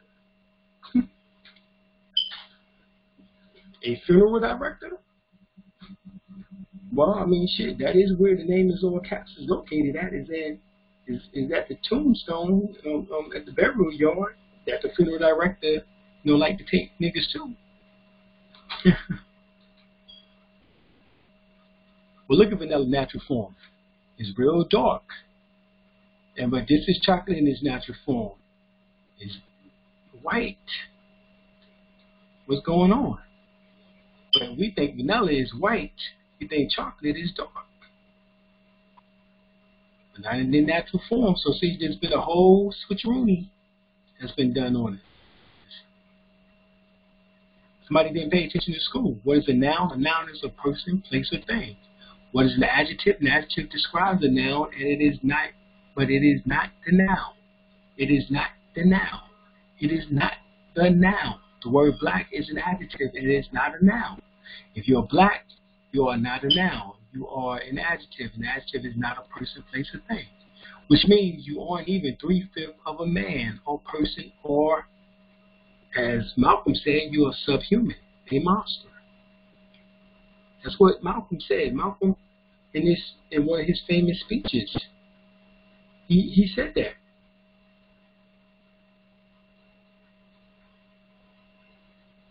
Okay? He said that we were dealing with having no nationality but being classified as three-fifth person by the Constitution, Article 1, Section 2. In which that's supposed to have been superseded by the 14th Amendment, in which that allegedly made us citizens, but it just simply made us semi-citizens means someone who has the ability in order to be granted privileges. That's what a registered voter is. Someone who has a privilege. A person who has a driver's license is a privilege. Someone who has a marriage certificate is a privilege. Someone who has a fish license is a privilege. These are privileges. These are not by nature. These do not come from God. It's not natural.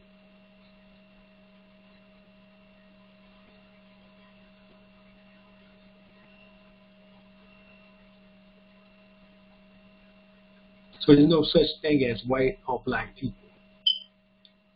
Even the Black Dictionary show you that there's white um, person and there's free white person in the same dictionary, especially get the fourth edition.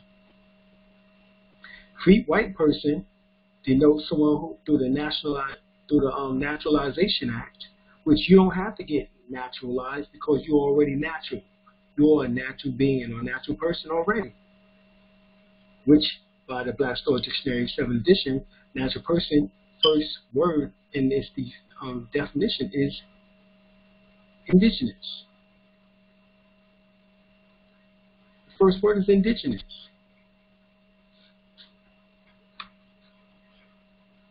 Is a legal status. Free white person is a legal status, not a complexion.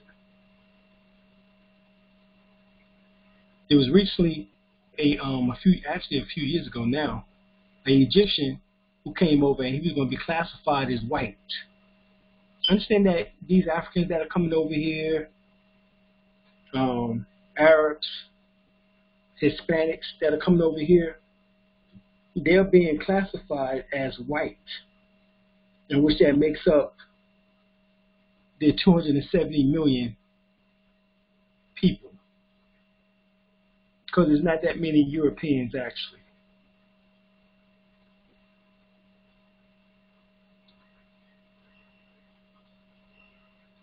They're adding in all these people who has been classified or has the status as free white person through the Naturalization Act.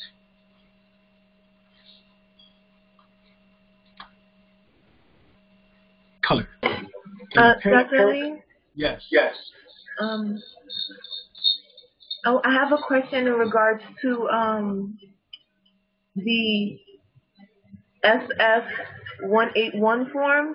Yes. Since you're Yes. speaking of the white and the black status, Yes. Yes. um, yes. do you? I, I would like to hear your thoughts about it. Like, do you feel that it's beneficial in any regard for us to fill out that form, just to Uh, correct? Some people Some people utilize it. it goes through the um IRS, well, not the IRS slash, really goes through first the Social Security Department or the Social Security Administration. They use the um 181 form in order to mostly mark white and Native American. You know, um, I have a problem with white if you're utilizing white and you have not been naturalized because we, as being indigenous people, have not been naturalized through their process of naturalization. We're not immigrants, we are indigenous.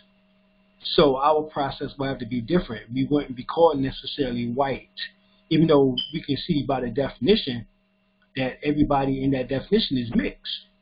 So it's not talking about, obviously, um, someone's status. I mean, someone's complexion. It's talking about someone's status. So, um, I see many who have filled it out and they mark white and they mark Native American. I don't see a problem with it per se, but I think that that has to be discussed because also in the same Black Law Dictionary, I see the word white person. And who say that they can't, um, you know, say which one is which at any convenient time. I believe that's the reason why they put it like that, is so that they can utilize their laws in order to switch it out at will. Because um, free white person says does not include Caucasian. Well, guess what? You go to white person, guess what it says? It says does include Caucasian. You know, so that's the trick of the term white in that regard. I wouldn't utilize it. If it's going to be, if you want to use something, use Native American. Even though we have a better term, you know, such as indigenous or aboriginal. Native American probably would be the closest um, I can say you will probably get to as far as filling out the um, 181 form.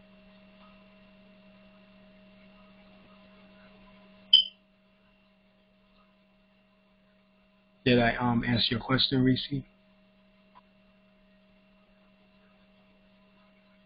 Yes, I was I was responding in the chat because I didn't want the echo to interfere. But yes, you did. Thank you.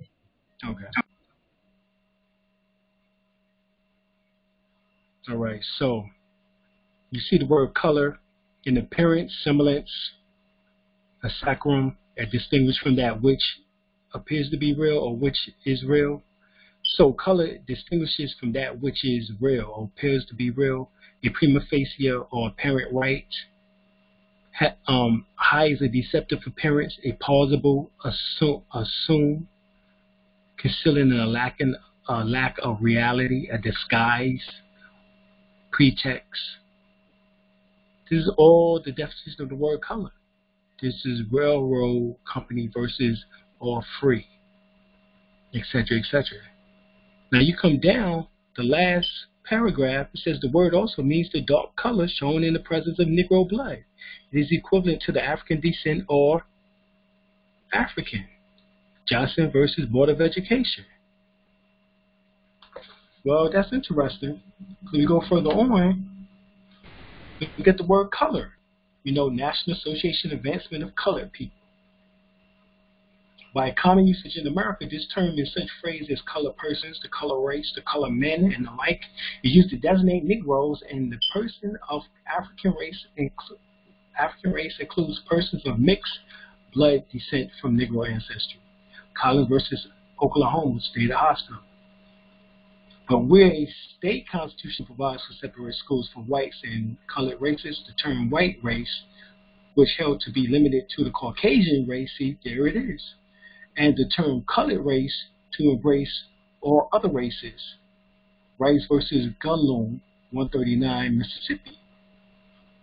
So, that's the problem I've had with utilizing the word white because even in the dictionary, this one here states that it's limited to, if you want to use it as race, because that's what they can say, that is race. It states on the form uh, what race are you, and it says black or African American, white, Native American, etc., etc. They can say, well, this particular definition talking about race, which is the Caucasian race, is limited to the Caucasian race. So the question we would have have to ask a person is, well, would you, um, do you come from the Caucasus Mountains?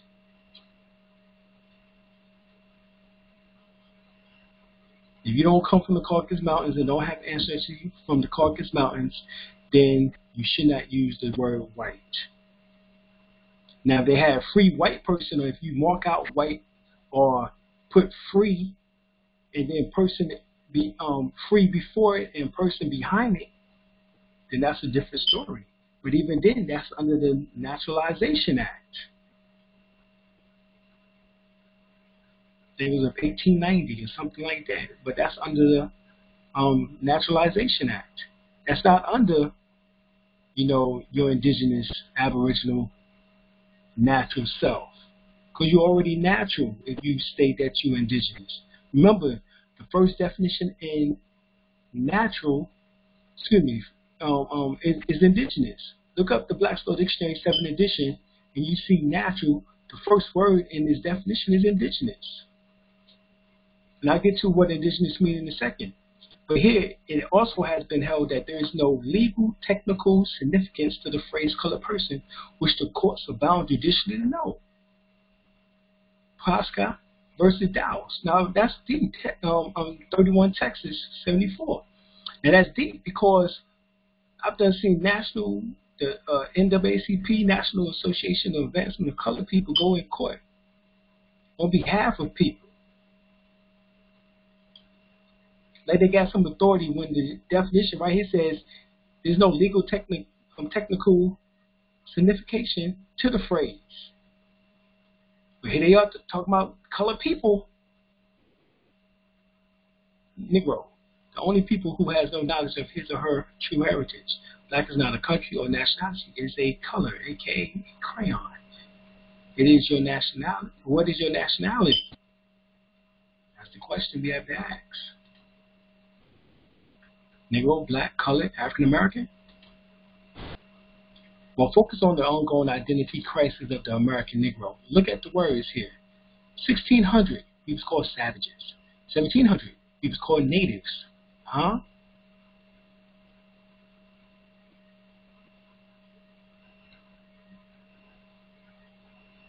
The Negro, the American Negro was called natives. Now, that's deep. 1800, niggers. 1900, darkies. 1910, pickaninnies. 1920, coons. 1930, spooks. 1940, boy. 1950, colored. 1960, Negroes. 1970, black um, brothers. 1970, blacks. 1990, African Americans. 2000, Moors. That's the question mark. To be Moors? Okay? And then 1920, coons because the word Wishite means raccoon, and then what they did was just a washo means um, raccoon, and what they did just took the raw off and just left the word coons. All right, that that is the historical part where they got that 1920 term coon from, from raccoon. Right, through the years, the black race has been known by many names. In the 1990s, they seized the opportunity to be officially recognized in an undeniable, honest way with the collective title of African American. Perhaps if this trend continues, we may soon look forward to addressing this race with an even more appropriate group term or title, excuse me. Liver lips, no working, crack sucking, you know, welfare, cheating, chicken frying, you know, etc., etc.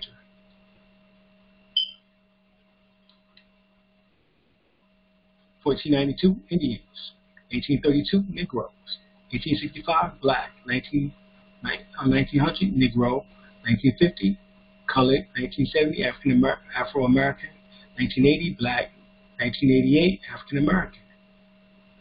Reclassification, a legal move serving two agendas. By changing the identity of the original people to legal fictions on paper, they no longer exist as a people. You see that? But once again, Negroes, there's some Negroes in this Moorish movement, which I think are agents, as they keep saying that you don't need no paperwork. But damn, it says right here, the original people to legal fiction on paper. They no longer exist as a people. So if they are legal fictions on paper, they no longer exist. If there are no people attached to the land, it's considered abandoned. Da da. Reason why they call you African American. Reason why they call you Negro, colored, black, because these names allude to no land tie. Possession is nine tenths of the law. Abandoned land can be utilized and controlled freely by the person who found it.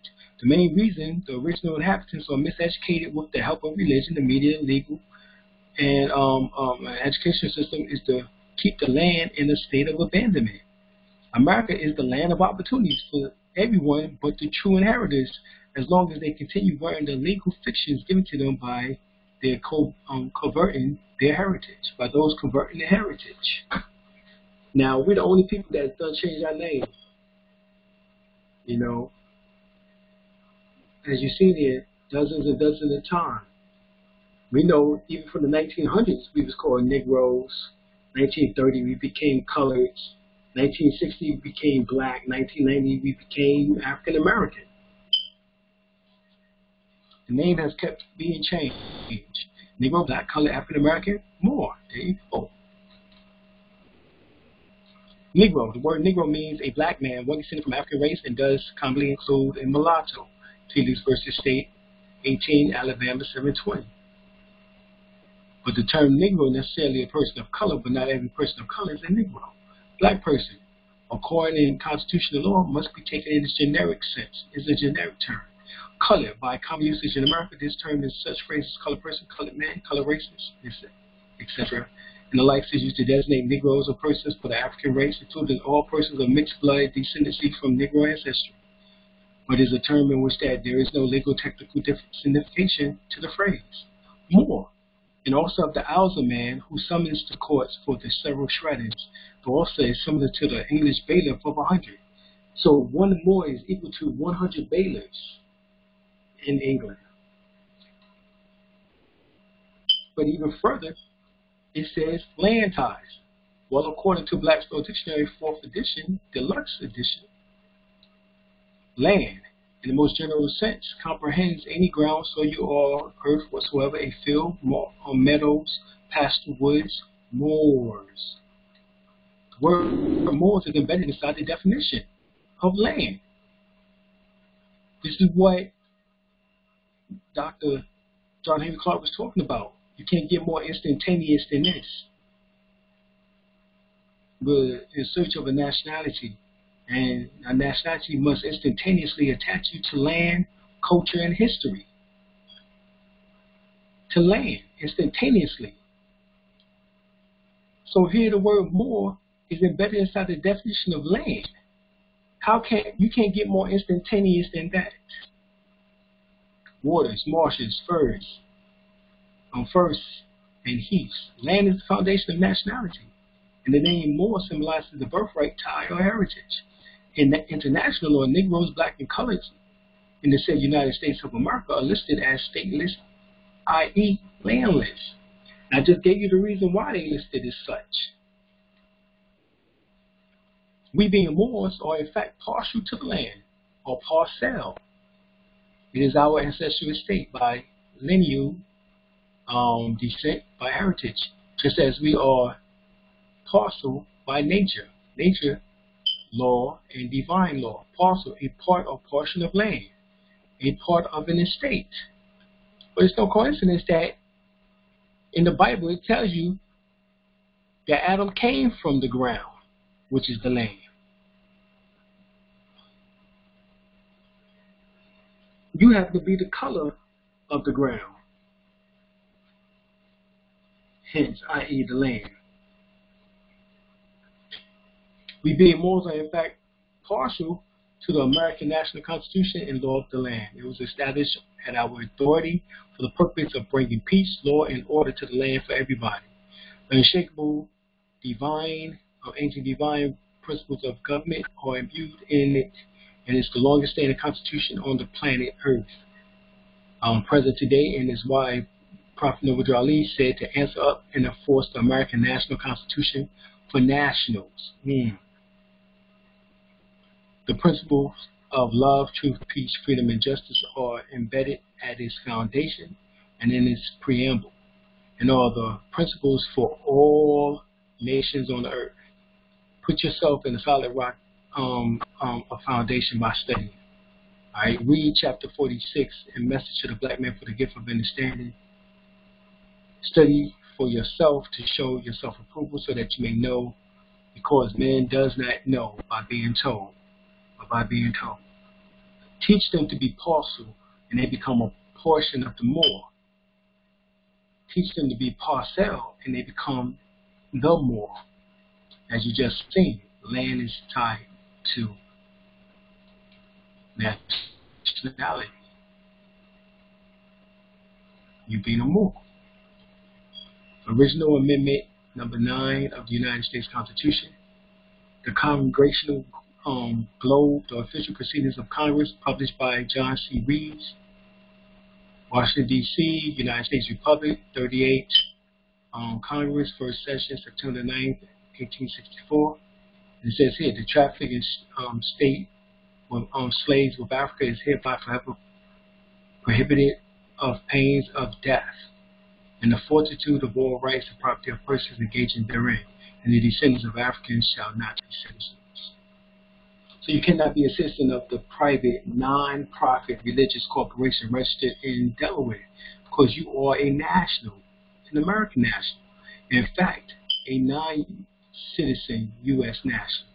But if you don't declare your nationality, you remain in chattel property status. Slavery Free Moors, law case 1789-1790.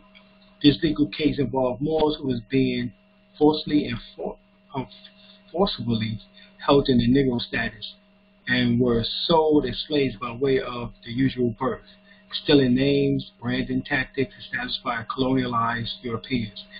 The Moors um, petitioned the House of Representatives and to plead the legal case, legal status and case and argument before the House of Representatives. They were successful in their confirmation of declaring their true nationality. The following is a brief about the I'm sorry, Free Moors legal status case. The Journals of the House of Representatives, United States of America, Republic of America, and published in South Carolina Department of, of um, Archives and History, 1789 through 1790. Geographical location, the land territory known as North, uh, South Carolina, North America. Um, practitioners, the um, ex-slaves, Francis, Daniel, Hammond, and Samuel. He was um, the names of those who put forth that bill, or as we would say, um, that act. But here we have Resolution 75, 1933, um, Legislative Journal of the House of Representatives, page 5759. Um, come down, it says the society has done much to bring about thorough absorption by these people of their principles, which are necessary to make them good American citizens.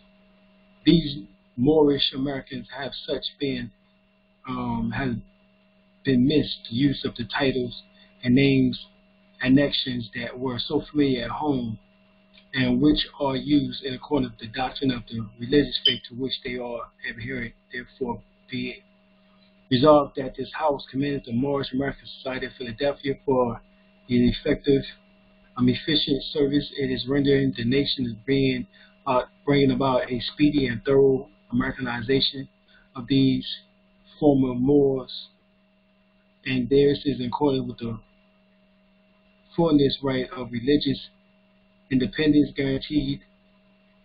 Every citizen recognize also the rights of these people to be used to name NXL or Ali or Bey or any other prefix or suffix to which they have heretofore been accustomed to or which they may hereafter acquire the use of. Alright? And that's important because this puts us back as being a natural person as opposed to these particular terms here. Individual. United States government employee. That's what an individual is. An individual is a corporate public persona existing only in the public sphere, having been created by law, laws of man, that is, individual equals the straw man. Ignorance of the law is no excuse. So see employee, employer, um, organiz- um, organizer, person, public law. Matter of fact, the definition of employer is that of a master. The definition of employee is that of a slave.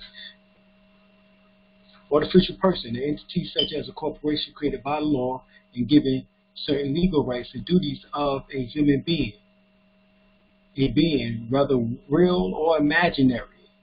Once again, whether real, um, um, real or imaginary for the purpose of legal reasoning for treating more or less as a human being with terms fictitious person, juristic person, legal person, Blackstone Exchange 7 edition.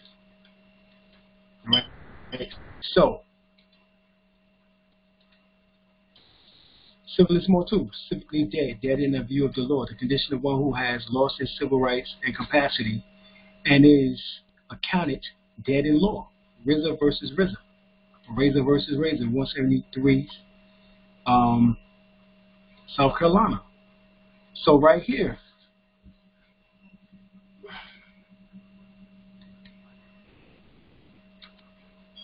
person, in the general usage, a human being, i.e. natural person, though by statute the term may include legal or labor organizations, partnerships, associations, corporations, legal representatives, trustees, trustees, and bankruptcy or receiver.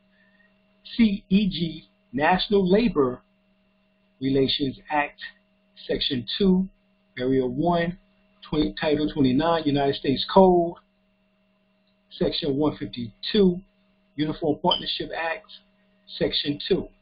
The person is similar to a company or corporation in that it exists as a construct of the imagination. It has no real body no soul to save, but for legal purposes carries similar rights and attributes of that of a human man or woman. And as much a government is artificial person, an abstraction and a creature of the mind only, a government can interfere only with other artificial persons. You see that? The imagination having neither artificiality actuality nor substance is foreclosed for creating or obtaining parity with the tangible. The legal manifestation of this is that no government, as well as any law agency, aspect, court, etc., can concern itself with anything other than the corporation or the official person in contract between them. This is Penhallow versus Dow administrators. All right. Title 3, United States Code 54. All right. So they can only mess with a corporation. This is why you have to come back in control of your corporation and become the president or CEO of your corporation. Because your corporation, as it states here, is a slave. Person, persona, equals mass. The state as a corporate abstraction cannot create real person, but can create the mask they wear and tax, regulation, and control that creation, mass person. Men and women operating under common law. The person is ruled by statute codes and regulations due to contract he has made. Your person is the name on your birth certificate, driver's license, social security number, your utility bills, etc. It is also named in all caps. These are contracts you have made with the government. They can only interfere with the legal persona. All right, here we go. Employer. One who employs the services of another, one whose employee works and who has paid their wages and salary, the relation of employee. Um, Angel versus White Eagle um, Oil and Refining Company. It says master is a synonymous term. Master is a synonymous term. So if employer is master, then what is employee?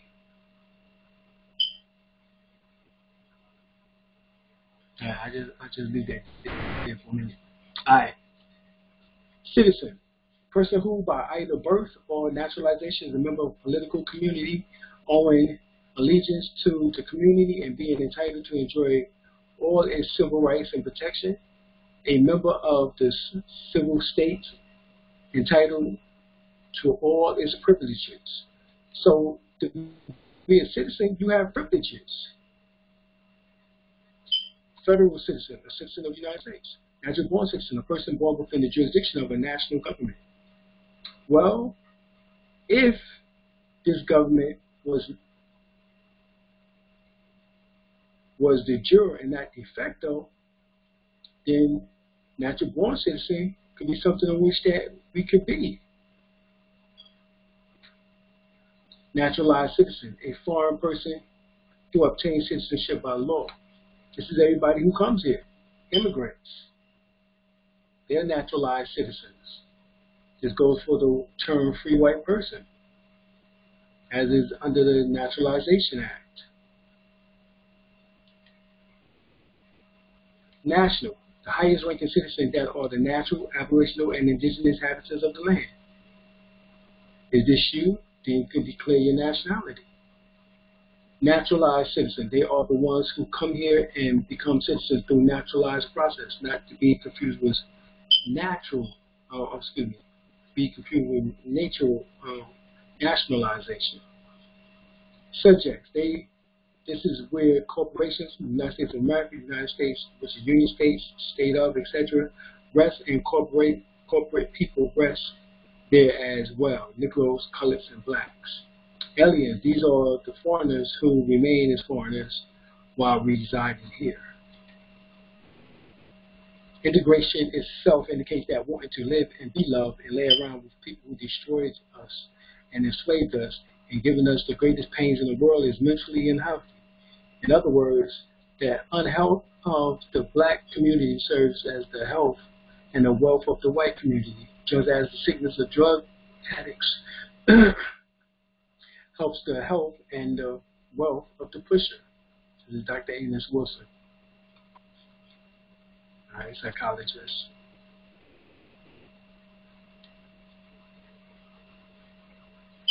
A psychiatrist, excuse me. All right. So I'm going to stop here, and we're going to pick it back up um, next class.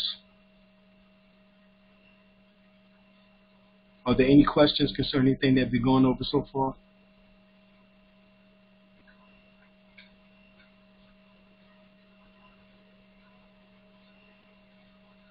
All right, if not, and we're going to say good night to everyone. And we're going to come back the next class.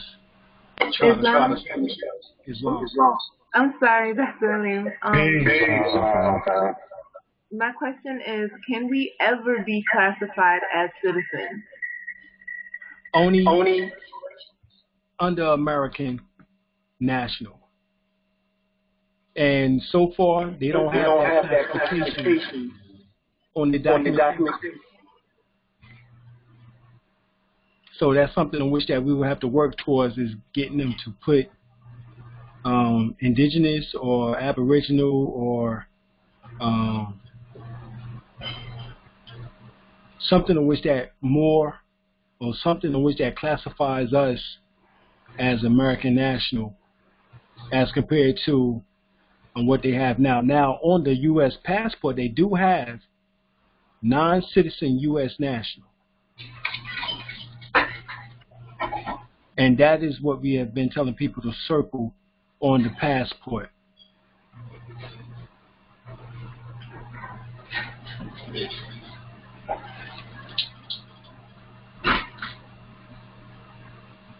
Okay. We wish it was something in which that was already done, being that, you know, the Science Temple been here, you know, a hundred years, you know, over a hundred years, you know, you would think, you know, that it would have been done by now, but it hasn't. Still hasn't. We're still not full citizens. And they know it. We called down to the um, passport place back in 2008. 2007 going to 2008. And my wife said, um, asked the lady on the other end, um, ma'am, you know we're not, you know, ma'am, you know we're not U.S. citizens. She said, yes, I know, but you need this passport, don't you? What that mean? Means that the passport is a privilege in which that you need in order to get in and out. Yes, we know your legal status, but you're not U.S. citizens.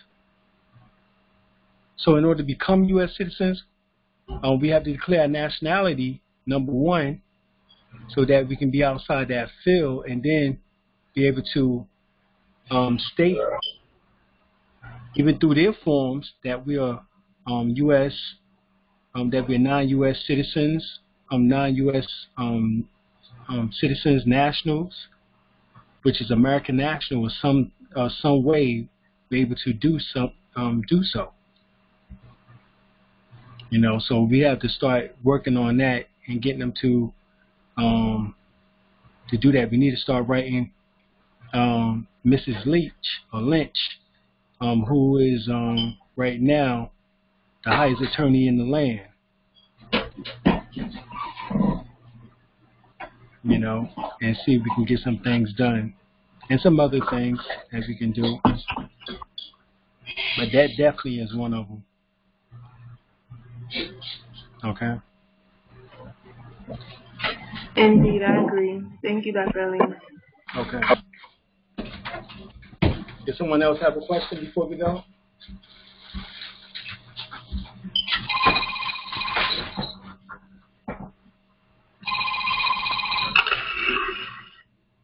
All right, if not, we're going to say peace to everyone. Good night. Um, and we'll see everybody here um, Thursday. Peace.